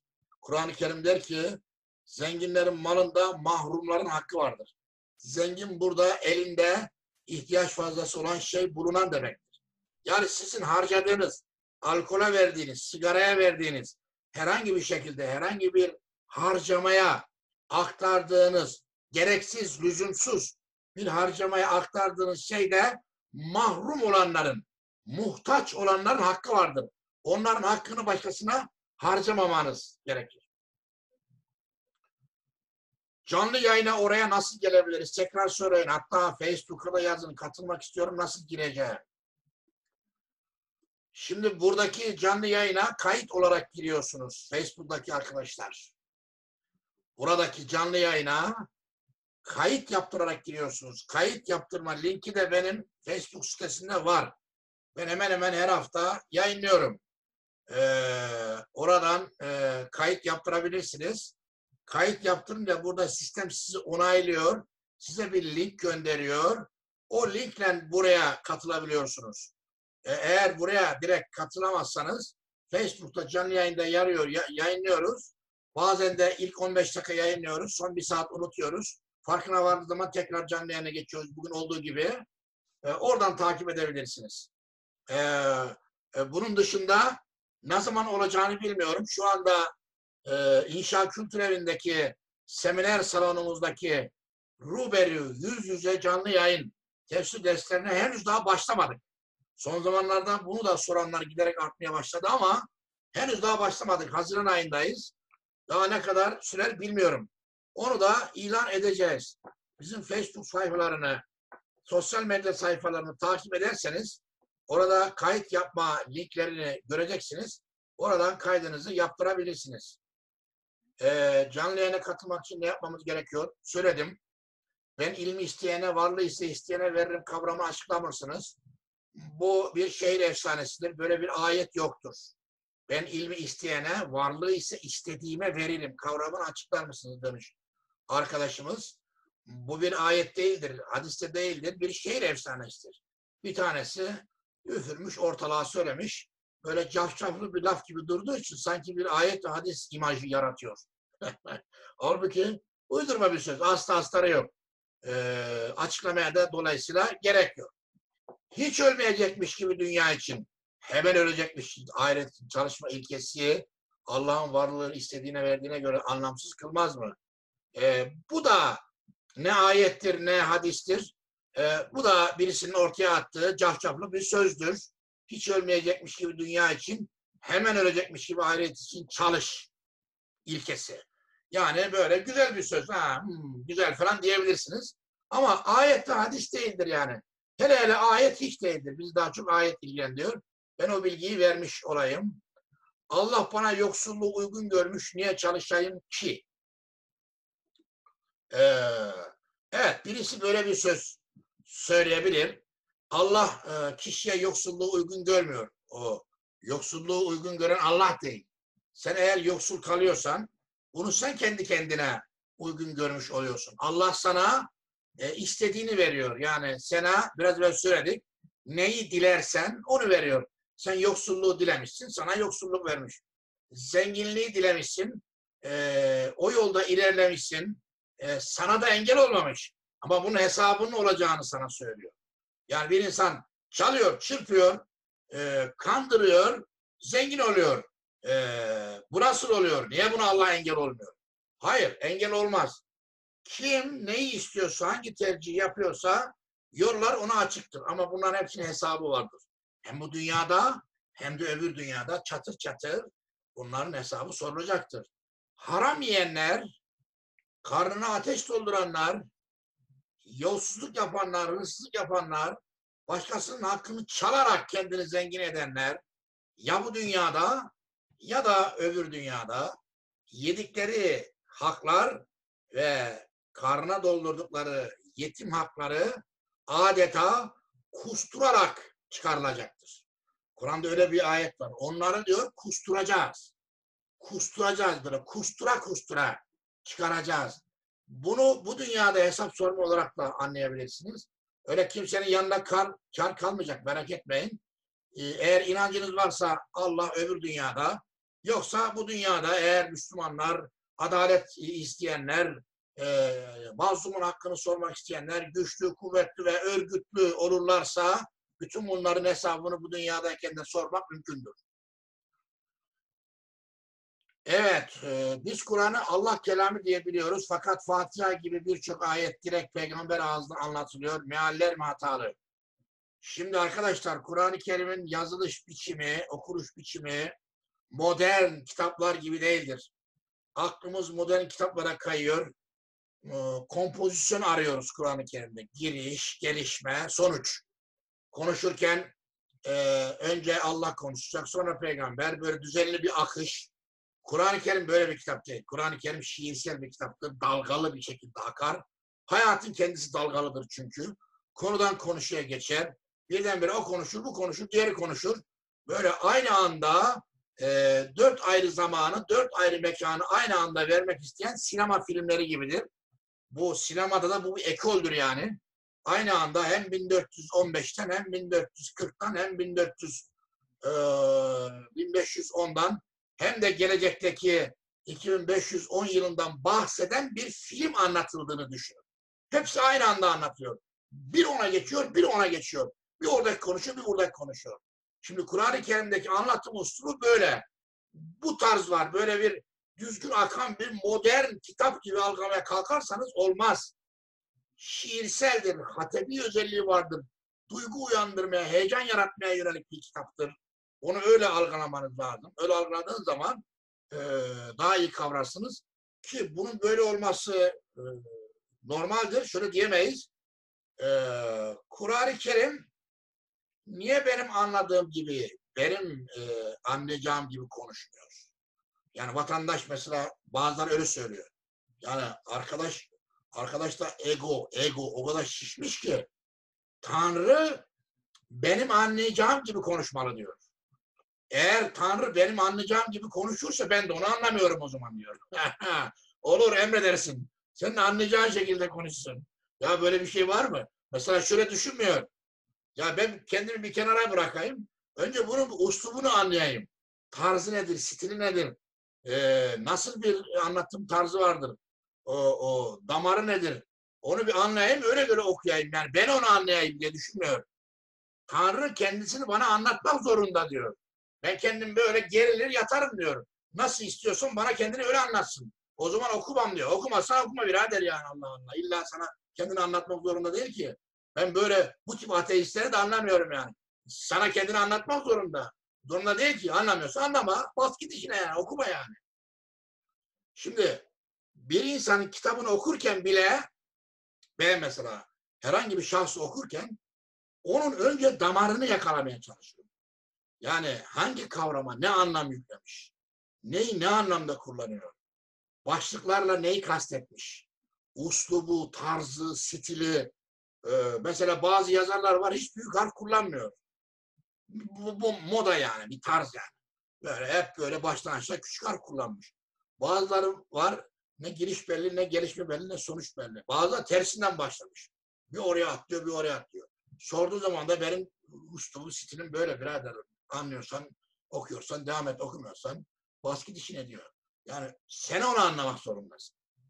Okuyacağın şey tıpkı bu filmler gibidir. Filmler gibidir arkadaşlar.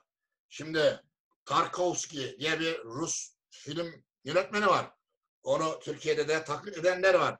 İşte Ze- Zeki Demirkubuz gibi, Nuri Bilge Ceylan gibi ağır derecede Tarkovski taklidi yapan yönetmenlerdir peş peşine ödül alıyorlar. Avrupalılar da bu tarzı çok bir beğeniyor yani. Ne yapıyor? Adam önce seyircisini seçiyor. Ee, mesela film başlıyor. Tam üç buçuk dakika uzaktan bir adam yavaş yavaş yavaş yürüyerek geliyor. Geliyor, geliyor, geliyor. Üç buçuk dakika. Oh ya öldük yeter. Gel artık diyesin geliyor. Sonra geliyor, arkasını dönüyor. iki buçuk dakikada gidiyor. Yavaş yavaş yavaş yavaş yavaş gidiyor. Böyle ağır bir şekilde film akıyor. İran filmleri de biraz böyledir. Şimdi Avrupalılar buna bayılıyor. Buna ödüller veriyorlar sürekli. Bunun da iyi bir şey olduğunu falan zannediyor.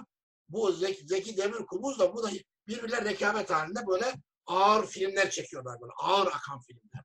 Şimdi bu nedir? Bu bir tarzdır. Adam sana demek istiyor ki birader hareket istiyorsan beni izlemeyeceksin yani. Ee, ben böyleyim diyor yani. Beni önce bir seyircisini önce seçiyor. Diyor ki ilk üç buçuk genellikle e, 10 seyirciden beş tanesi ilk üç buçuk dakikada gider. Ama kim dinleyecekler? Sonra üç tanesi de ikinci iki buçuk dakikada gider. Adam daha hala gitmedi ya arkası. Geriye zar zor bir kişi kalabilir yani. Sabrederek izlemek isteyen. Ha benim gerçek seyircim işte odur diyor. Ben ondan diyor bu filmi seyretmeye devam edeceğim diyor. Dolayısıyla onlar kendi seyircisini seçmeye çalışıyor. Şimdi bakın Kur'an-ı Kerim de buna benzerdir size söyleyeyim. Açtığı zaman ya bu ne kardeşim böyle bir damdan bahsediyor belli değil. Neden bahsettin? Hemen hemen sen diyor lan kardeşim sen hemen işine git yani. Senin işin yok burada ya. Sen bu, bu sen bu işlerin adamı değilsin yani. Sen, senin tarzın başka bir şey. Sen başka bir yere gideceksin. Burada konuyu anlamak isteyenler kendilerini zaten yavaş yavaş yavaş yavaş konuya adapte ederler, bulurlar. Peki e, niye herkesin anlayamayacağı, anlayacağı şekilde konuşuyor? Hayır. Ee, o bizi anlamayacak. Biz onu anlayacağız. Ya şimdi benim yazdığım kitap bile böyle yani. 26 tane kitap yazmışım. Ben insanların anlayacağı şekilde falan yazmadım yani. Kendimi ifade edecek şekilde yazdım. Şimdi bazıları diyor ki şuna niye şöyle başladın, buna niye böyle başladın? Şuna şu ismi niye niye verdin, buna bu ismi niye verdin? Ya böyle kardeşim yani ben böyleyim yani. Okumuyorsan bir sürü kitap var, dünya kadar yazı var git onları oku. İlla beni okumak zorunda değilsin yani. Herkes de beni okumak zorunda değil. Ve ben herkese hitap etmek zorunda da değilim. Ben beni anlayanlara hitap ederim. Onlarla faydalı olabilirim demek istiyor. Neyse bu mevzuyu fazla uzatmayalım. Sigara haram mıdır? Kur'an'da nazar var mıdır? Allah'a fıkıh sorularına döndü iş. Ee, Kur'an'da nazar yoktur. Nazar değmek diye bir şey de yoktur. O hususla ilgili ayet e, Müddessir veya Müzemmil suresinde geçen bir ayettir. Şöyle geçer. O tefeci bezirganlar ve Mekke'nin zengin ileri gelenleri peygamberin kendilerine söylediklerini duyunca hani tarlalarınızdan verin, köleleri serbest bırakın, sizin elinizdeki mallarda yoksulların hakkı vardır gibi söylemleri duyunca e, peygambere gözleriyle onu devirecekmiş gibi bakarlar. Bu bir ayettir Kur'an'da. İşte buna nazar ayeti diyor geleneksel fıkıhçılar.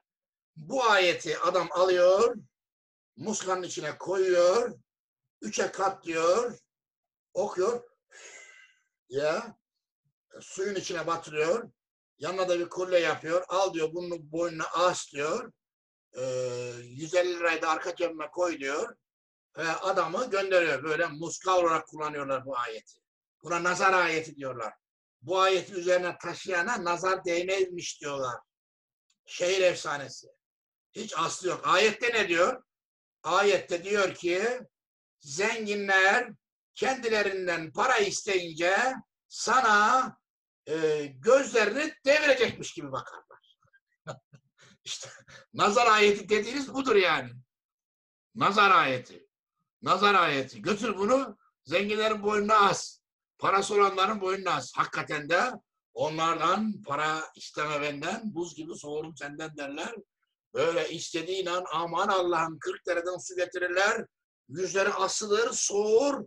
Öbür tarafa dönerler. Bir daha senden konuşmak istemezler. E, telefondaysa işim vardı sonra konuşalım falan filan der mevzu geçiştirir. Ondan bahsediyor. Konu o. Bunun nazar demekle ne alakası var? Sigara haram mıdır? Hayır değildir. Haram olması için Kur'an-ı Kerim'de açık bir ayet olması gerekir. İyi de Kur'an-ı Kerim 14 asır önce nazil olmuş. Şimdi olsaydı belki haram kılardı dediğiniz zaman da bu bir tahmin olabilir. Ama sigara sağlığa zararlıdır diyebiliriz. Yeni bir kavram burada kullanamayız. Sigara sağlığa zararlı olduğu için önce 2013 yılında gezi olaylarının ilk başladığı yıllarda e, bıraktım sigarayı. Sonra bir yıl tekrar e, nargileye sardırdım. Oraya dönüş yaptım. 2016 yılının sonunda 2017 yılı başladığı günde tekrar sigarayı ve nargileyi radikal bir şekilde tekrar bıraktım. O gün bugündür de içmiyorum. Ve size de içmemenizi tavsiye ederim. Hülle Kur'an ayetinde var. Bunu nasıl anlamamız lazım? Hülle diye bir şey yok. Bu ayette anlatılmak istenen şey yani e, bir kadın e, kocası tarafından üç kez boşanırsa dördüncü kez gidip başka bir erkekle evlenmedikçe tekrar gelip onunla evlenmez diye bunu böyle işin dolanbaşı tarafına götürmeye çalışıyorlar. Orada anlatılmaya çalışan şey şudur. Kadına hak veriyor. Kadının e, boşanmasının haddi hesabı yoktu. E, istediği kadar erkek karısını boşayabiliyordu. Beş defa, altı defa, yedi defa, on defa istediği kadar boşuyor, istediği kadar daha geri alıyordu. Kadının bir onuru, haysiyeti, şerefi, itibarı hiçbir şey yoktu. Kur'an bunu yasakladı ve dedi ki ettelagu merratan boşanma iki defadır. Üçüncü defada geri dönüş hakkı vardır. Eğer üç defa bu boşanma hakkını kullandıysan artık o kadınla evlenemezsin. Hak kadındadır. Geri dönme hakkı kadındadır. Yani erkek karısını üç defa boşarsa kadın isterse hayır ben bir daha gelmiyorum. Seninle evlenmeyeceğim derse onunla geri dönme hakkı iddia edemez. Ee, hakkı kadına veriyor. Dördüncü boşanmadan sonra, üçüncü boşanmadan sonra dördüncü kez eğer yine boşanma olacaksa bu hak kadının elindedir. Kadın isterse e, dördüncü kez eski kocasıyla tekrar beraber olabilir. Yani onunla tekrar evlenebilir. Ama istemiyorsa erkek onu zorla kendisiyle evlendiremez. Gider başka birisiyle evlenir. Bu hak kadına verilmiştir. Dördüncü defasında kadına verilmiştir. Hülle dediğiniz budur. Bunun böyle dördüncü kez başkasıyla evlenmedikçe tekrar onunla gelip öyle bir şey yok. Kadın karar vermedikçe erkek onunla evlenemez diyor. Yani kadın isterse e, ya ben üç defa boşandım ama gel dördüncü kez dönelim diye kadına teklif eder. Kadın istemezse olmaz. Evlenemez. Ama kadın isterse olur. Tekrar geri döner. Hak kadına verilmiştir yani dördüncü kez. Bu o günkü kadının adının adının onurunun şerefinin hiçbir şeyin olmadığı bir zamanda kadına verilmiş bir haktır. Zaten Kur'an-ı Kerim'de ben size şunu söyleyeyim. Kadın erkek ilişkilerinin tamamında yüze yakın ayet var. Mutlaka bir hak eee erkekten alınır ve kadına verilir.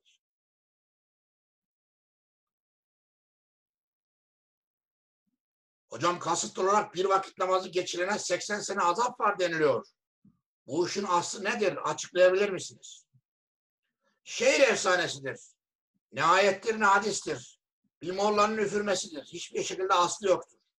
İnanmayın böyle şeylere. Bir vakit namazı geçirene 80 sene azap varmış. Kur'an-ı Kerim'de nerede namaz kılmayana bir ceza verileceği söyleniyor. Hemen derler ki Müttesir Suresi 42. ayet. Ee, o ateşe girenlere sorulur. Onlara denilir ki ee, sizi ateşe sokan nedir? Onlar derler ki biz musalli değildik, yoksulu doyurmazdık, dalanlarla beraber dalardık, ölüm gelinceye kadar bu haldeydik derler. Buradaki musalli kelimesinin biz namaz kılanlardan değildik diye çeviriyorlar. Yanlış. Biz e, e, bölümü bütün olarak anladığınız zaman tam yerine oturuyor zaten. Şöyle derler. Biz yardımlaşma, dayanışma ve destekleşme içerisinde değildik. Bu nedenle de yoksulu doyurmazdık.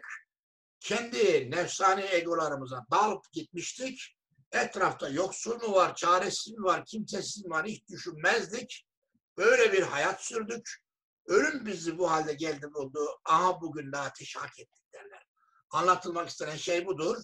Bunun e, direkt namazla alakası yoktur. Kur'an-ı Kerim'de namaz kılmayanlara ceza yoktur.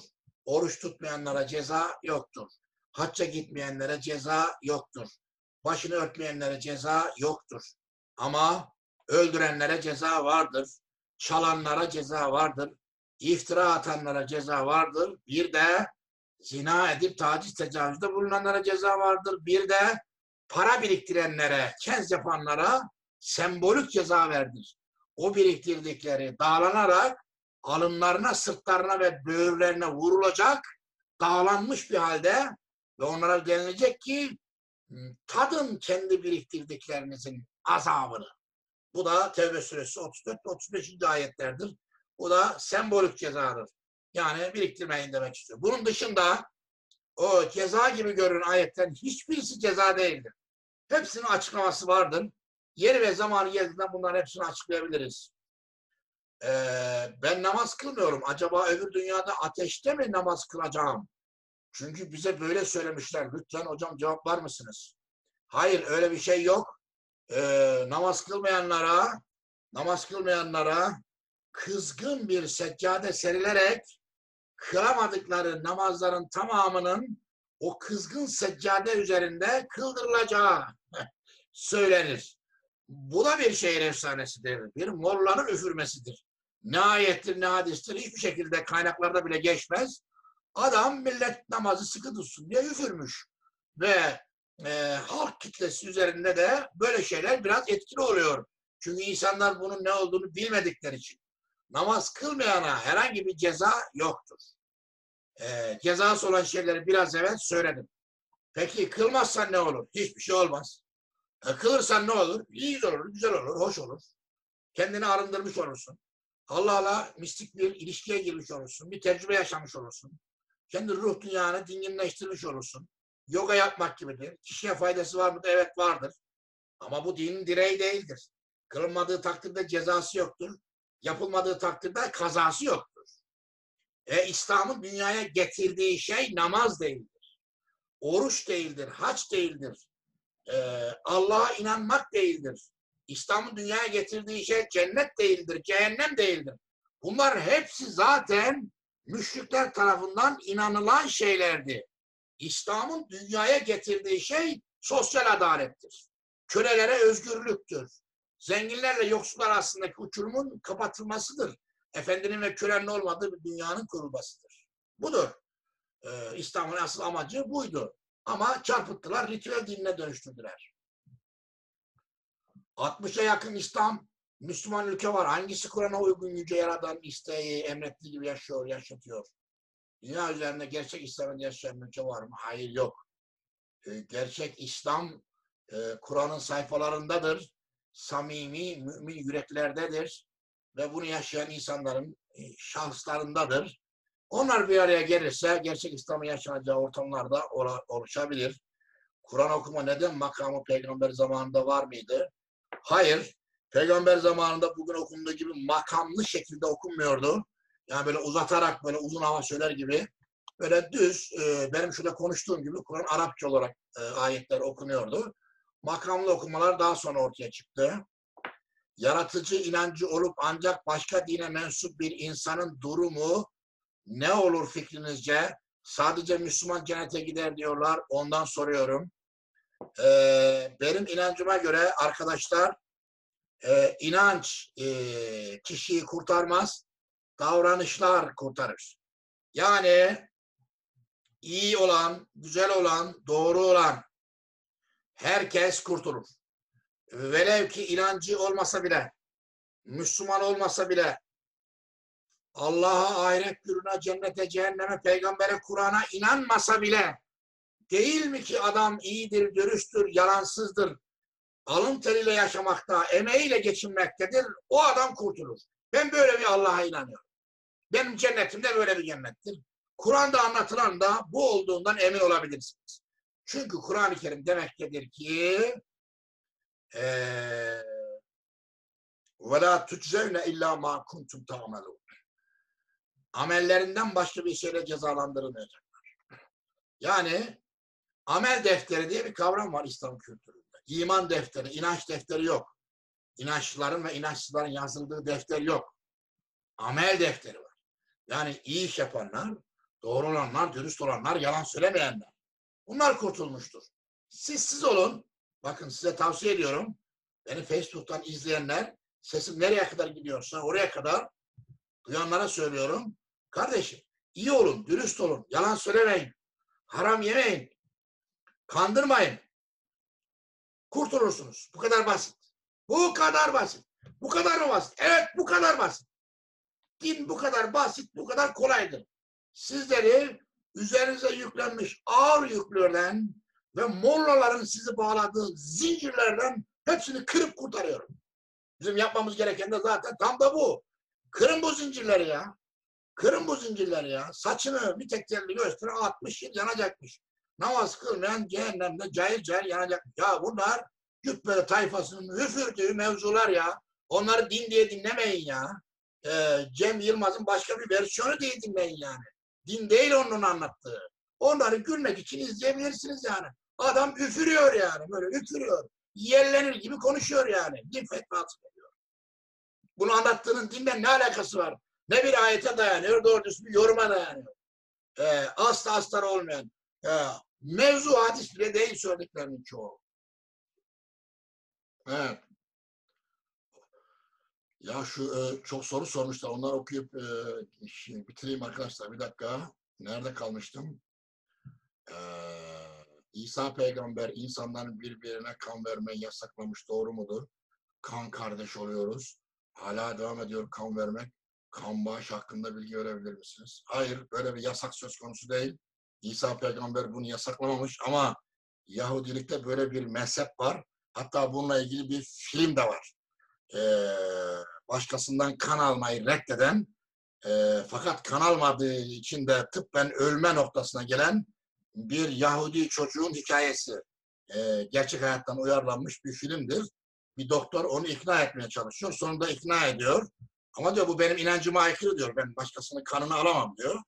Ee, uzun süre kan almayı reddediyor. Adam ölüm, çocuk ölümle burun buruna geliyor. Sonra doktor onu ikna ediyor falan. Öyle bir mezhep var ama İsa'ya ait bir söz değil o. Ee, kan alıp ver, verme söz konusu olabilir.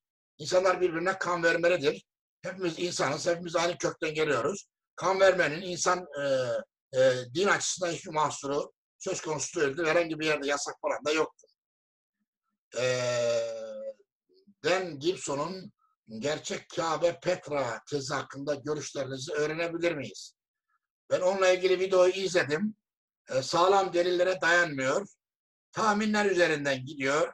sansasyon yaratmak için e, doldurulmuş bir e, e, video olarak gördüm. E, çünkü Petra şehrine gidip Mekke'ye benzeyen yönlerin resmini çekip aslında buralar Mekke'ydi filan demek. Yani ben dikkatle dizledim böyle ileri sürdüğü delillere, kanıtlara falan baktım. Hepsi zayıf, çürük, böyle bir üfürükte gidecek şeyler. Bence itibar etmeye gerek yok. Bakara suresi 239. 229. ayette e, iftida yani kadının boşanma hakkından bahseder misiniz? E şimdi kadının da zaten erkeğin de her de boşanma hakkı var zaten. E, boşamayı sadece erkeğe e, tahsis ediyor diye bir şey yok ki. E, kadınlar eğer boşanmak istiyorsa peygamber de bunun örneğini çok görülmüştür. E, kocasından şikayet eden kadınlar gelmiştir peygambere ve e, ben kocamdan boşanmak istiyorum demiştir. O da iki tarafı dinlemiştir ve onları boşamıştır. Kadının talebi üzerine. E, veya erkeğin talebi üzerine. Fark etmez yani.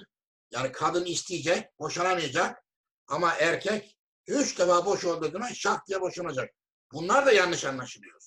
E, bu Araplar arasında kadının boşanma hakkı yoktu. Doğru. Ama e, Kur'an'la beraber kadınlar da boşanma talebinde e, bulunurlar. Kocası hakkında şikayet eden kadın suresi vardır. Mücadile suresi. E, Mümtehine suresi. Bunlar hep kadınlarla ilgilidir Medine'deki. E, gelir ve kocasından şikayette bulunur. E, ve e, peygamberle tartışmaya e, bu hususta girer. Ve böylece defalarca da peygamber bu tür kadınlardan boşadıkları olmuştur. İslam'ın beş şartı ne oluyor? O zaman biz hep bunlara inanarak büyüdük. Gerçek şartları söyler misiniz? İslam'ın beş şartı diye de bir şey yok. Kur'an'ın hiçbir yerinde geçmez. Bir hadise dayanır. O hadiste doğru mu yanlış mı belli değil. Eğer illa İslam'ın şartları diye bir şey olacaksa öyle bir şart sıralaması yok gerçi Kur'an-ı Kerim'de. Ama illa derseniz ki bize anlayacağımız şekilde dört tane şart söyle ve bunu da bir yere dayandır dersen o zaman şöyle diyebilirim. Bunlara İslam'ın şartları diyemeyiz ama e, ortak açıdan ortak yönleri olan dört konu var. O da Kur'an'da kendisine ceza öngörülen şeyler. Bunlar şart gibi olabilir, gibi olabilir. Öldürmek, çalmak, iftira atmak, zina etmek ve e, bunun devam olarak taciz ve tecavüzde bulunmak. Fiziki olarak dört tane hukuki ceza vardır bunlar hakkında Kur'an-ı Kerim'de. Başka bir şeyin cezası da yoktur. Dördü de insan hakları ile ilgilidir.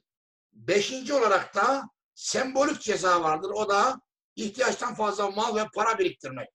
Onlara da dağlanma sembolik cezası getirilmiştir.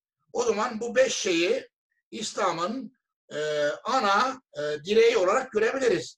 Eğer bir insan kimseyi öldürmemişse, hiçbir şekilde çalmamışsa, bütün geçimi alın teri ve emek üzerine gitmişse, hayatında kimseye iftira atmamış ve dolayısıyla yalan söylememişse, iftira çünkü yalan oluyor aynı zamanda, ve zina etmemişse, kimseye tacizde, tecavüzde ne sözlü ne fiil olarak bulunmamışsa ve ihtiyaçtan fazla da hiçbir şekilde para, mal, mülk, servet biriktirmemişse öp başına koy. Bu adamın cennetin orta yerinde yeri hazırdır. Ben vaat ediyorum. yani Allah bilir ama bana göre yani. Benim inancıma göre. Benim dinden anladığıma göre. Bu beş şeyi yerine getiren kişi isterse ateist olsun, isterse deist olsun, isterse namaz kılmasın, oruç tutmasın, hiçbir tapınağa gitmesin. Bu beş şey üzere olan kimsenin cennetin orta yerinde yeri hazırdır. Ve Allah'ın has muhlis kulusudur. Ve bu diğer ayrımların hepsi bizim taktığımız ayrımlardır. Yok ateist, yok deist, yok Müslüman, Hristiyan, Yahudi, Hindu, Budist. Ya bunlar bizim bu dünyada birbirimize taktığımız isimler. Allah bu isimlere falan bakmayacak. Bunların hepsi unutulacak. Bunların hepsi silinip, solup, yok olup gidecek. Allah'ın ölçüsü başka bir yerden.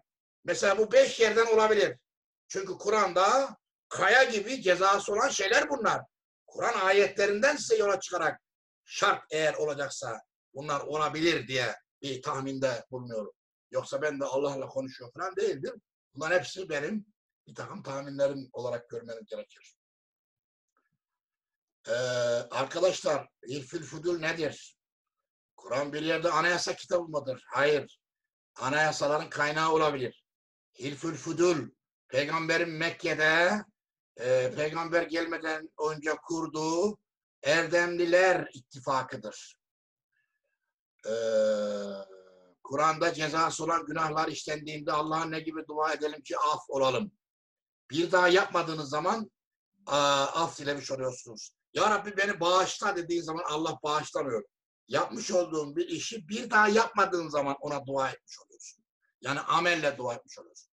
Evet arkadaşlar, e, Facebook'taki arkadaşların sorularını bu şekilde cevaplandırmış oluyorum. Burada kesiyorum. E, vaktimiz iki saati geçti. E, şu anda derse katılan arkadaşlar içerisinde e, burada canlı yayında bizatihi olanlardan son olarak e, sormak istediği bir şey olan var mı? Aksi halde yoksa hepinize hayırlı geceler dileyeceğim.